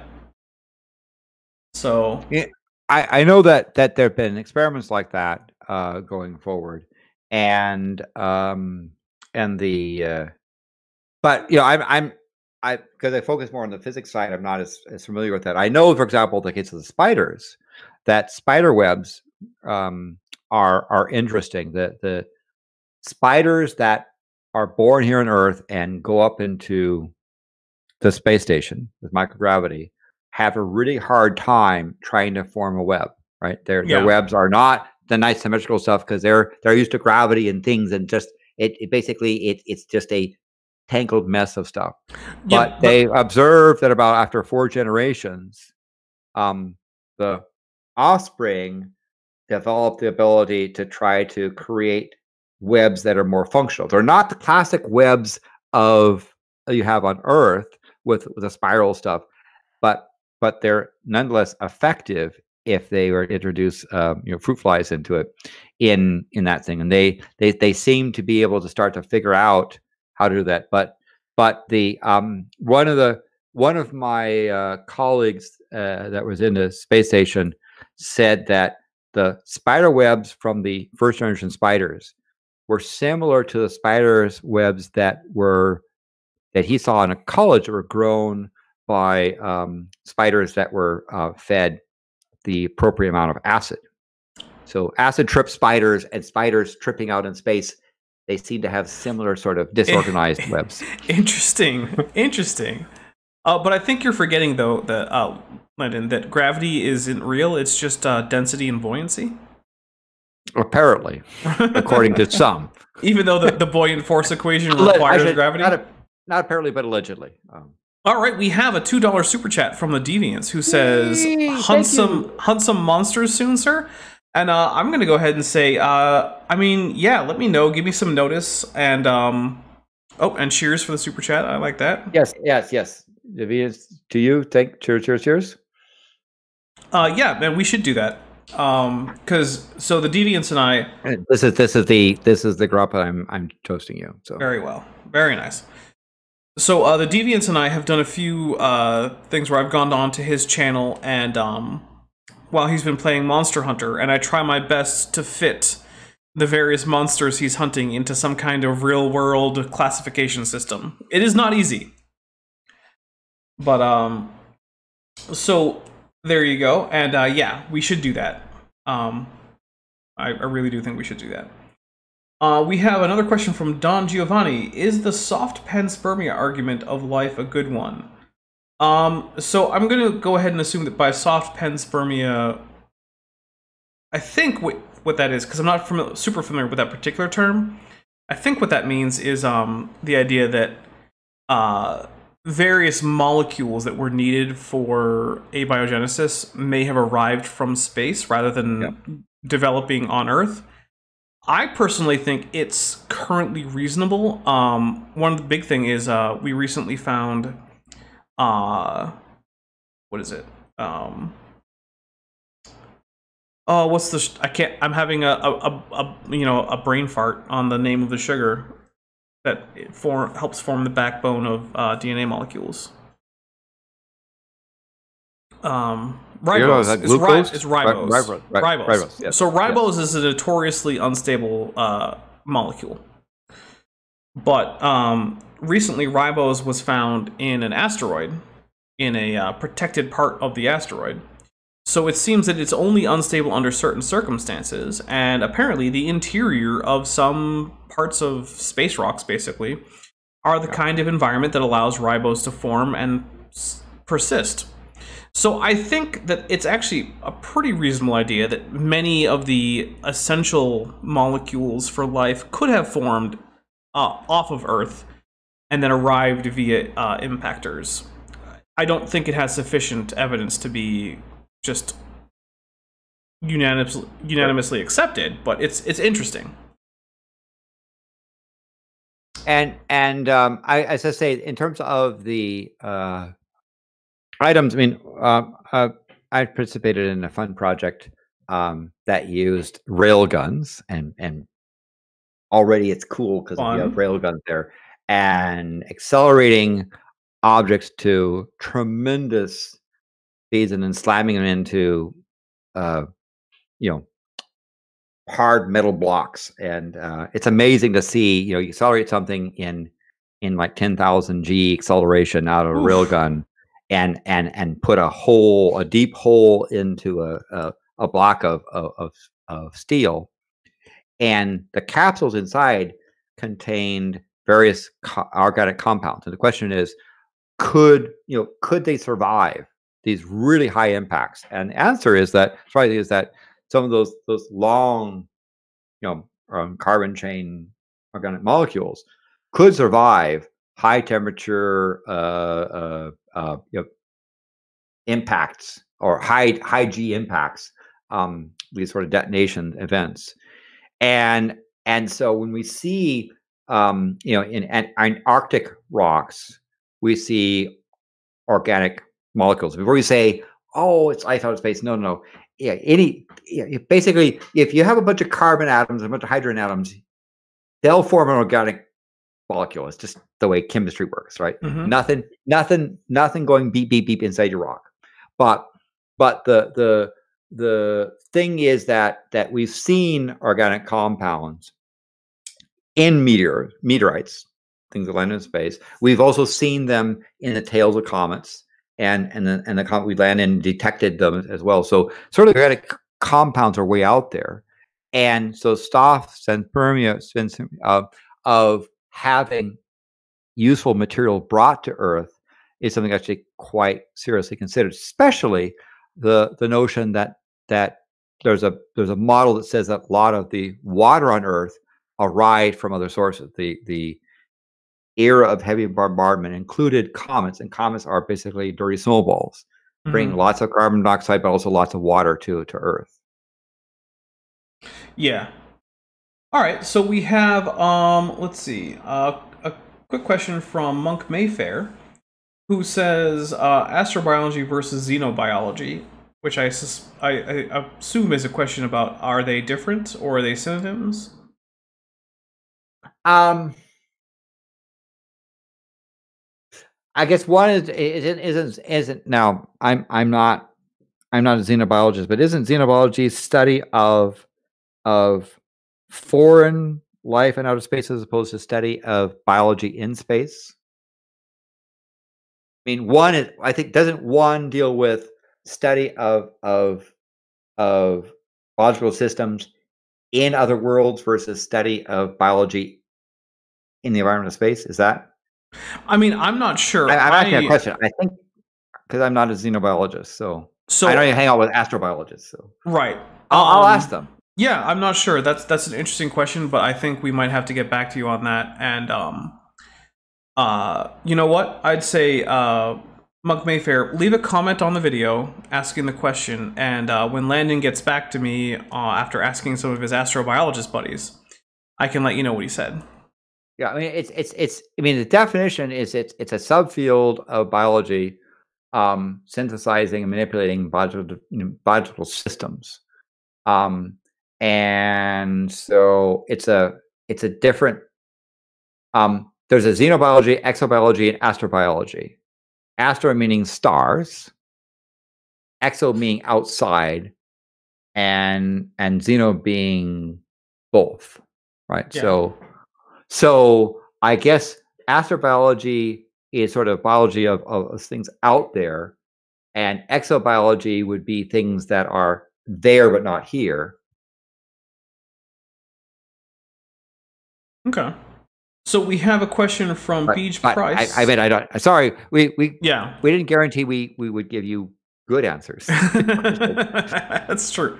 We have a question from um uh let's see, from Beach Price who says, I don't I know we don't want to introduce stuff to other planets, but why not dedicate a moon and plant it with all kinds of microbes?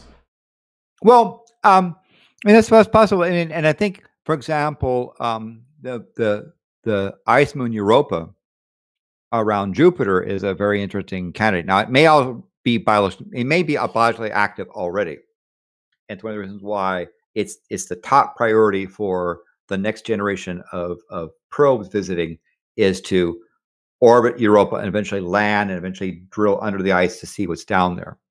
Um, it has a you know, it has a volume of water that's about seven times the volume of water on Earth. It's a, it's a it's a it's a water world with this ice cap. We don't know if it's a thin ice block and nice nice liquid water underneath, or it's kind of like a slurry slushy thing you might find at a at a convenience store. Um, the but the thing is that that where the, the the moon itself is one of the most roundest objects we've ever found in in the uh, in in our exploring of space. And the reason why it's so round is that that essentially it is really a a frozen ice ball around liquid water. Yeah. Um, and there's reasons, various reasons why we go into details of why Europa is like that. But Europa is one of the places that that probably I think it has a higher chance of having life on it even than Mars. And and so if it doesn't, it's a place that you could introduce it if you so choose. But you have to think about the the the effects of of, of that. I would think you'd want to explore it first before contaminating it. Okay, but that's just me. Uh, we have a question from Lorenzo S, which I think might be more directed at me than you, uh, which is hippos. Which one came, or which one, hippopotamus or hippocampus or hippos? Um, actually, I'm not sure if that's for me. I'm not sure what the question is about. I mean, I, I'm not. I'm not a. I, I certainly am not a, a uh, evolutionary biologist. Uh, I, I Well- have high respect for them. I mean, the hippocampus came first in terms of chronology. I'm not sure if he means um, in terms of names. In terms of names, hippo, as Greek for horse, came first. Uh, so, uh, Lorenzo S, if you if you want to clarify that, uh, feel free to type that. Yeah. Um, So but hippocampus is first chronologically, and hippo is first uh, in terms of linguistics.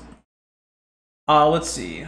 okay. By the way, I got a comment from my colleague that said astrology deals with the search of naturally evolved life in the universe, mostly on other planets, whereas you know biologists are concerned with detection and analysis elsewhere in the universe. Xenobiology attempts to design forms of life with different biochemistry and different genetic code. Okay. So astrobiologists might be analyzing and that that makes sense because we we talked to them about exosolar planets and habitable zones, that sort of thing. Uh, a xenobiologist would attempt to um, design life given an environment, um, perhaps even with a completely different genetic code. So people talk about 3D printing of of life and so forth. That's that's apparently is xenobiology, Okay. Well, that's according to one of my colleagues. Well, hey, I mean, he probably knows more than I do. He's a he he, he is a an astrobiologist. Uh, there, he's not a xenobiologist. Okay. But he knows Uh, what he's talking. So we have a question from uh, TD Lane who asks, "Can Landon stream Kerbal Space Program?" uh, yes, although although um, we did it from uh, I was actually from interns where we used uh, basically the our our we have I have, I have a large computational cluster. We usually developed computational cluster to do orbital stuff. So we basically went and figured out the orbits and then drove the Kerbal stuff. We had to figure out how to because Kerbal has some you have to understand its granularity of of its it, its its world is is not analog. It's it's digital. You have to understand that the digital thing and you have to understand some of its parameters. But once we were so we had to study kerbal space. Now the kerbal space program as, as a program is fairly faithful to non-newtonian mechanics I think you mean Newtonian mechanics. I mean, I'm saying fairly faithful to Newtonian mechanics, not Right. non-Newtonian stuff. So, so, but, but in terms of Newtonian stuff, it, it does it does a pretty good job of of it. Um, but in terms of trying to, um, so so so so we went and developed orbital programs to then translate that into Kerbal stuff, and it and it worked. Right, we could get you you could calculate how to get from here to there without splatting Mhm. and and then you just have to then say okay given the Kerbal parameters what kind of rockets do you need and what kind of of this and that do you need and of course they give you the the building blocks and you have to basically study the building blocks as properties and then work backwards to say okay if that's your rocket you don't have enough fuel and you need to get more boosters but eventually you get enough stuff and um and then you you launch it and then you send uh basically fuel up so you can launch it from launch it from a space platform yeah. to the remote, remote planet and you can get there um, and then you just at, at that point it just becomes a calculation and of course the the the nice thing about Kerbal is it actually you know you take it takes a long time to get there because in reality Yeah. faraway places take a long time but computers can be patient and so i can't claim i landed on the on the most distant planet but our programs patiently nudged Kerbal to land on the most distant planet successfully Okay. Well, Landon, I'm going to put this out here. If you decide that you want to stream Kerbal Space Program and you need a place to stream it to, I will make either of my channels available to you. Hmm. And uh, the only condition I have is that uh, you, you send me a link to a Hangout or something where I can can uh, watch as well as talk with you while you do it. Yeah, but but but So- it, it, was it was a matter of just doing orbital mechanics and then and then figuring out what input parameters when you give a when you give Kerbal a this much of a pulse, what happens, right? And you Mhm. calibrate that, and then you figure out the the the rockets parts and what they do. Once you get that done, then it became obvious that you couldn't blast off of the surface very well and get there, you needed to basically build a, a platform. You then go back and forth to load up fuel and then launch from from orbiting platform Right. to to to get there. But once you do that, then it becomes just a matter of saying, okay, you know, in in two weeks is going to arrive there, and it takes a long time, Oh yeah. game time. But but computers are patient, and So you go, yay. Um, we have a quick comment from Beach Price who says, I like Landon. He never treats any questions as silly. Smiley face. Well, science is about questions. It's not about answers. You are being scientific by asking the questions. I'm just giving you speculations about stuff based upon my experience. But science values questions. And the greatest scientists are the people who ask the right question at the right time to the right person. So ask questions because it's very scientific. I agree. All right, I think we have what is probably our last question, unless we get a super chat in. So if you do have a question after this that you really want answered, it's gonna have to be a super chat because otherwise we're probably gonna end the stream. because I like to keep them around two hours, and we're already at uh, an hour 59 plus. So, this question is from Vandalia1998, who, by the way, go check out Vandalia1998's uh, channel. I have been on his channel several times. So, uh, yeah, go check that out. Uh, he says, in sci-fi, is there convergent evolution since most... I think he, he skipped a word since I think most aliens seem to evolve uh, in a humanoid-like form eventually. Um, I have my thoughts, but I'll I'll let you go ahead, uh, Landon. Well, um, I'm my astrobiologists tell me that you know life forms try to get you know life evolves the easy way. It doesn't try to figure out what's the most complex way we can do this. What's the most energy efficient and most likely way to get to get there? And as a result, there are things that are possible that are not practical. Right from the physics point of view, it is possible to build complex chains of silicon molecules. But silicon has some problems. I mean, just because of, of the way the physics is, that's not as convenient as carbon.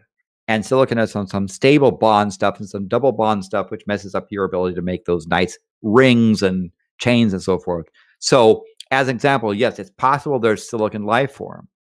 But the physics says the easier, more energy efficient, more likely way to do it is with carbon. That doesn't mean that they they they uh, they're they're exactly like us, but the the idea that that if you have an imperfect replication of complex chemistry, it's most likely going to involve some of the most common elements in the universe. Oxygen. I mean, hydrogen is the first most common thing.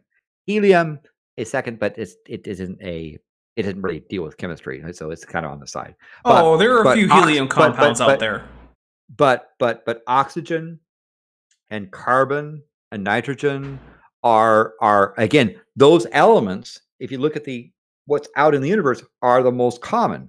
And you look at the nucleosynthesis and how you build up from from you know small atoms up to big atoms it's the it's the you know the easiest way to do it is with the elements you have on earth. So our biology is a is a product of physics right? It's it's it's it's the and and in if you look at at at life on earth is composed of the most common elements in the cosmos sans helium um the most common chemically reactive elements let's say in in in the universe. So why would you try to come up with something like a silicon based life form? Great for science fiction but pretty impractical on the physics side. Okay, I'm gonna uh, go ahead and give an answer for this, and then, um, assuming we don't have a super chat in the meantime, I think that'll be pretty much it. I'll give some quick. Oh, hey, Chesh, Cheshire Vic Hi, is Chesh. here. Hey, Chesh. Ah, You- Chesh. nice nice person Chesh has the link. If she wants to come in and say, "Hey, yo," uh, you know, live, she can. Yeah come in uh, you should also check out her channel and she does Absolutely. Check stuff. out if you're not if you're not already checking out Cheshire Vic's channel, you should go do so. She does some really good art stuff. Uh, she has a monthly show called That Time of the Month, which is a clever title, I think. yes Um, and uh, yeah, she does some. sh- She's also done some good uh, commentary stuff. Uh, she has a one episode so far of her show Too Long Didn't Read, which I think was Yeah. really good, except for slightly low sound levels. But we've talked about how to fix that. Um, and I think she might have some ideas for future stuff there. So yeah, yeah yeah, go check out Cheshire And- Vic and if she- you haven't. yeah she does 95% of the work Actually, that's true. Yeah, she does do not. In fact, she, uh, basically, she she she might as well do ninety five percent of the work on this channel too. Um, but anyway, um, in terms sorry in, inside joke it's okay. Um, oh wait, you didn't say trademark on on your sorry. oh yeah sorry canada Yeah, trademark canada right sorry, sorry. exactly. trademark canada trademark canada Um, so uh, in terms of the humanoid thing, I'm going to approach in a uh, a fairly strictly evolution, uh, speculative biology sort of thing. Um, the humanoid form has been something that people have discussed whether or not it's particularly optimal for an intelligent technological species or not. And I tend to think that it's probably not. and that the two legs, two arms thing is probably um something that's relatively unlikely. Now, classically, a lot of science fiction has just assumed convergent evolution onto the broadly humanoid form. And, you know, that was just the, the kind of excuse they gave for giving us humanoid aliens. And this has been a, particularly a big problem in um, filmed sci-fi, mostly because it's way cheaper to put a funny forehead on an actor than it is to create an entire non-humanoid alien. Um, in fact, even uh, sci-fi shows that did not primarily use humans with funny foreheads, uh, like uh, Farscape, which was uh, produced by the Jim Henson Company, still, even a lot of the alien puppets ended up having two arms and two legs. So, you know, I don't think that that's particularly realistic. Um, I, I think that the the sort of tetrapod design of four limbs is mostly a coincidence of the organisms that ended up dominating macrofaunal niches on Earth. I don't think that necessarily that would be repeated on other planets. So I I expect that if we encountered truly alien uh, sapient organisms on other you know worlds, that they probably would not be humanoid overall. But um, yeah. So oh, wrote no, no last name said his phone died, so he missed most of the show. I'm sorry. Oh, sorry. And uh, oh, Chesha sent us three heart emojis, which means that she has like surpassed her quota for the day of heart emojis towards me. Wow. Yeah. And that's that's that's. I mean, you're you're in love with a, uh dinosaur. That's that's uh, No, very that's, reptilian that's, of you. That, that's what it is. So you just realized you you started a shipping meme, right? Okay. Yes. Okay. Definitely, definitely. I'll, I'll ship Chesh and dinosaurs. Okay, so so there you go. There you go, chat. Uh, start writing the the fan fiction about uh, Cheshire Vic, a goblin falling in love with a dinosaur. In space. yes, in space. Yeah, that, that add that in there. So uh, write write a uh, a wonderful romance novel about a goblin and a dinosaur in space falling in love. Good luck. Uh, but let's see. Let's go to channel news, uh, and then we'll let Landon plug whatever he would like. Uh, let's see. Um, channel news. So Thursday, the next speculative evolution project update is coming out. It is the second update for phase two. It is far from the final update. If you are watching this and you have submitted creatures to me that have not made it onto the World Anvil or my Twitter or anything like that, do not worry. I am getting to you. It's a bit of a process. I have received far more submissions than I ever expected. Um, OBS successfully reconnected. So if there was an interruption in the stream, I'm sorry. Uh, OBS disconnected. I'm not sure which one because I have two instances open right now. So hopefully it was everything's fine. But uh, anyway, uh, Saturday I am trying to get at noon Pacific a stream with Eric Viertaler 92 and Erika from Gutsick Gibbon, where we will be continuing our tour of a creationist museum up in uh, Montana, I think. Uh, if Eric, if you're still here and you want to correct me, please do. Uh, let's see. uh, then next Tuesday should be our next Kent with Bent, unless something comes up where uh, Bent can't do it. Uh, that should be Kent with Bent 26, the one that almost didn't happen ever. Um, then after that, I don't know what will be on Thursday or Saturday. Um, Yep. I have stuff in backup, and unless something else happens, it'll be that. Um, also, if you're in contact with me under any of my personal accounts, remind me to actually make the video about the guy who's been scamming people in uh, a few different nerd as well as uh, paleontology circles. Yep. So uh, remind me to do that because I need to actually get that done. Uh, so that's pretty much it for channel news. And uh, Landon, what would you like to plug? Well, a couple of, of, of things. Again, I'm not. I don't have a channel of my own, but I I live vicariously through other people's channels. Um, and so I like to call it a couple of things uh, for you to catch out, check up. Um, that might be a variety. Um, one is a guy named Karel K A R E L, um, who is number one uh, talk show host in Antarctica. Uh, I've been working with him, and I do a help uh, with my friends down in the South Pole, and and and and him. He's he's he's a very interesting commentator. Uh, another person I would another group I would recommend checking out is Milwaukee Atheists. Um, they do an atheist Sunday school. They do a lot of of really not your classical atheist stuff, but actually, for example, um, read the Bible and actually read it. We're going through. They got me to read a couple of chapters on there, and uh, it's kind of it's kind of interesting experience. Um, End Time is a is a great group of, of folks that are doing interesting stuff. Uh, a comic I recommend that you two comics I recommend you you check out. One is a guy named Pimp Monk. Another guy is named Isaac Butterfield. Um, both interesting uh, folks. And then uh, if you want scam baiting, uh, Scam Bait Central, and finally um, uh, uh, Media, which is co-hosted by David McInnes. Um, they're doing some fun stuff. Uh, they have a really uh, fun channel that's that's emerging. That I suggest you check out. All right, and I'm gonna read one final comment, which is from Cheshire Vic that says, "We love Landon." With three, or wait, no, yeah, it is three. Three exclamation points. Ah, thanks, Chess. Yes. All right. Well, thank you very much, everyone, for showing up and hitting that like button. And thank you very much, the Deviants, for super chatting.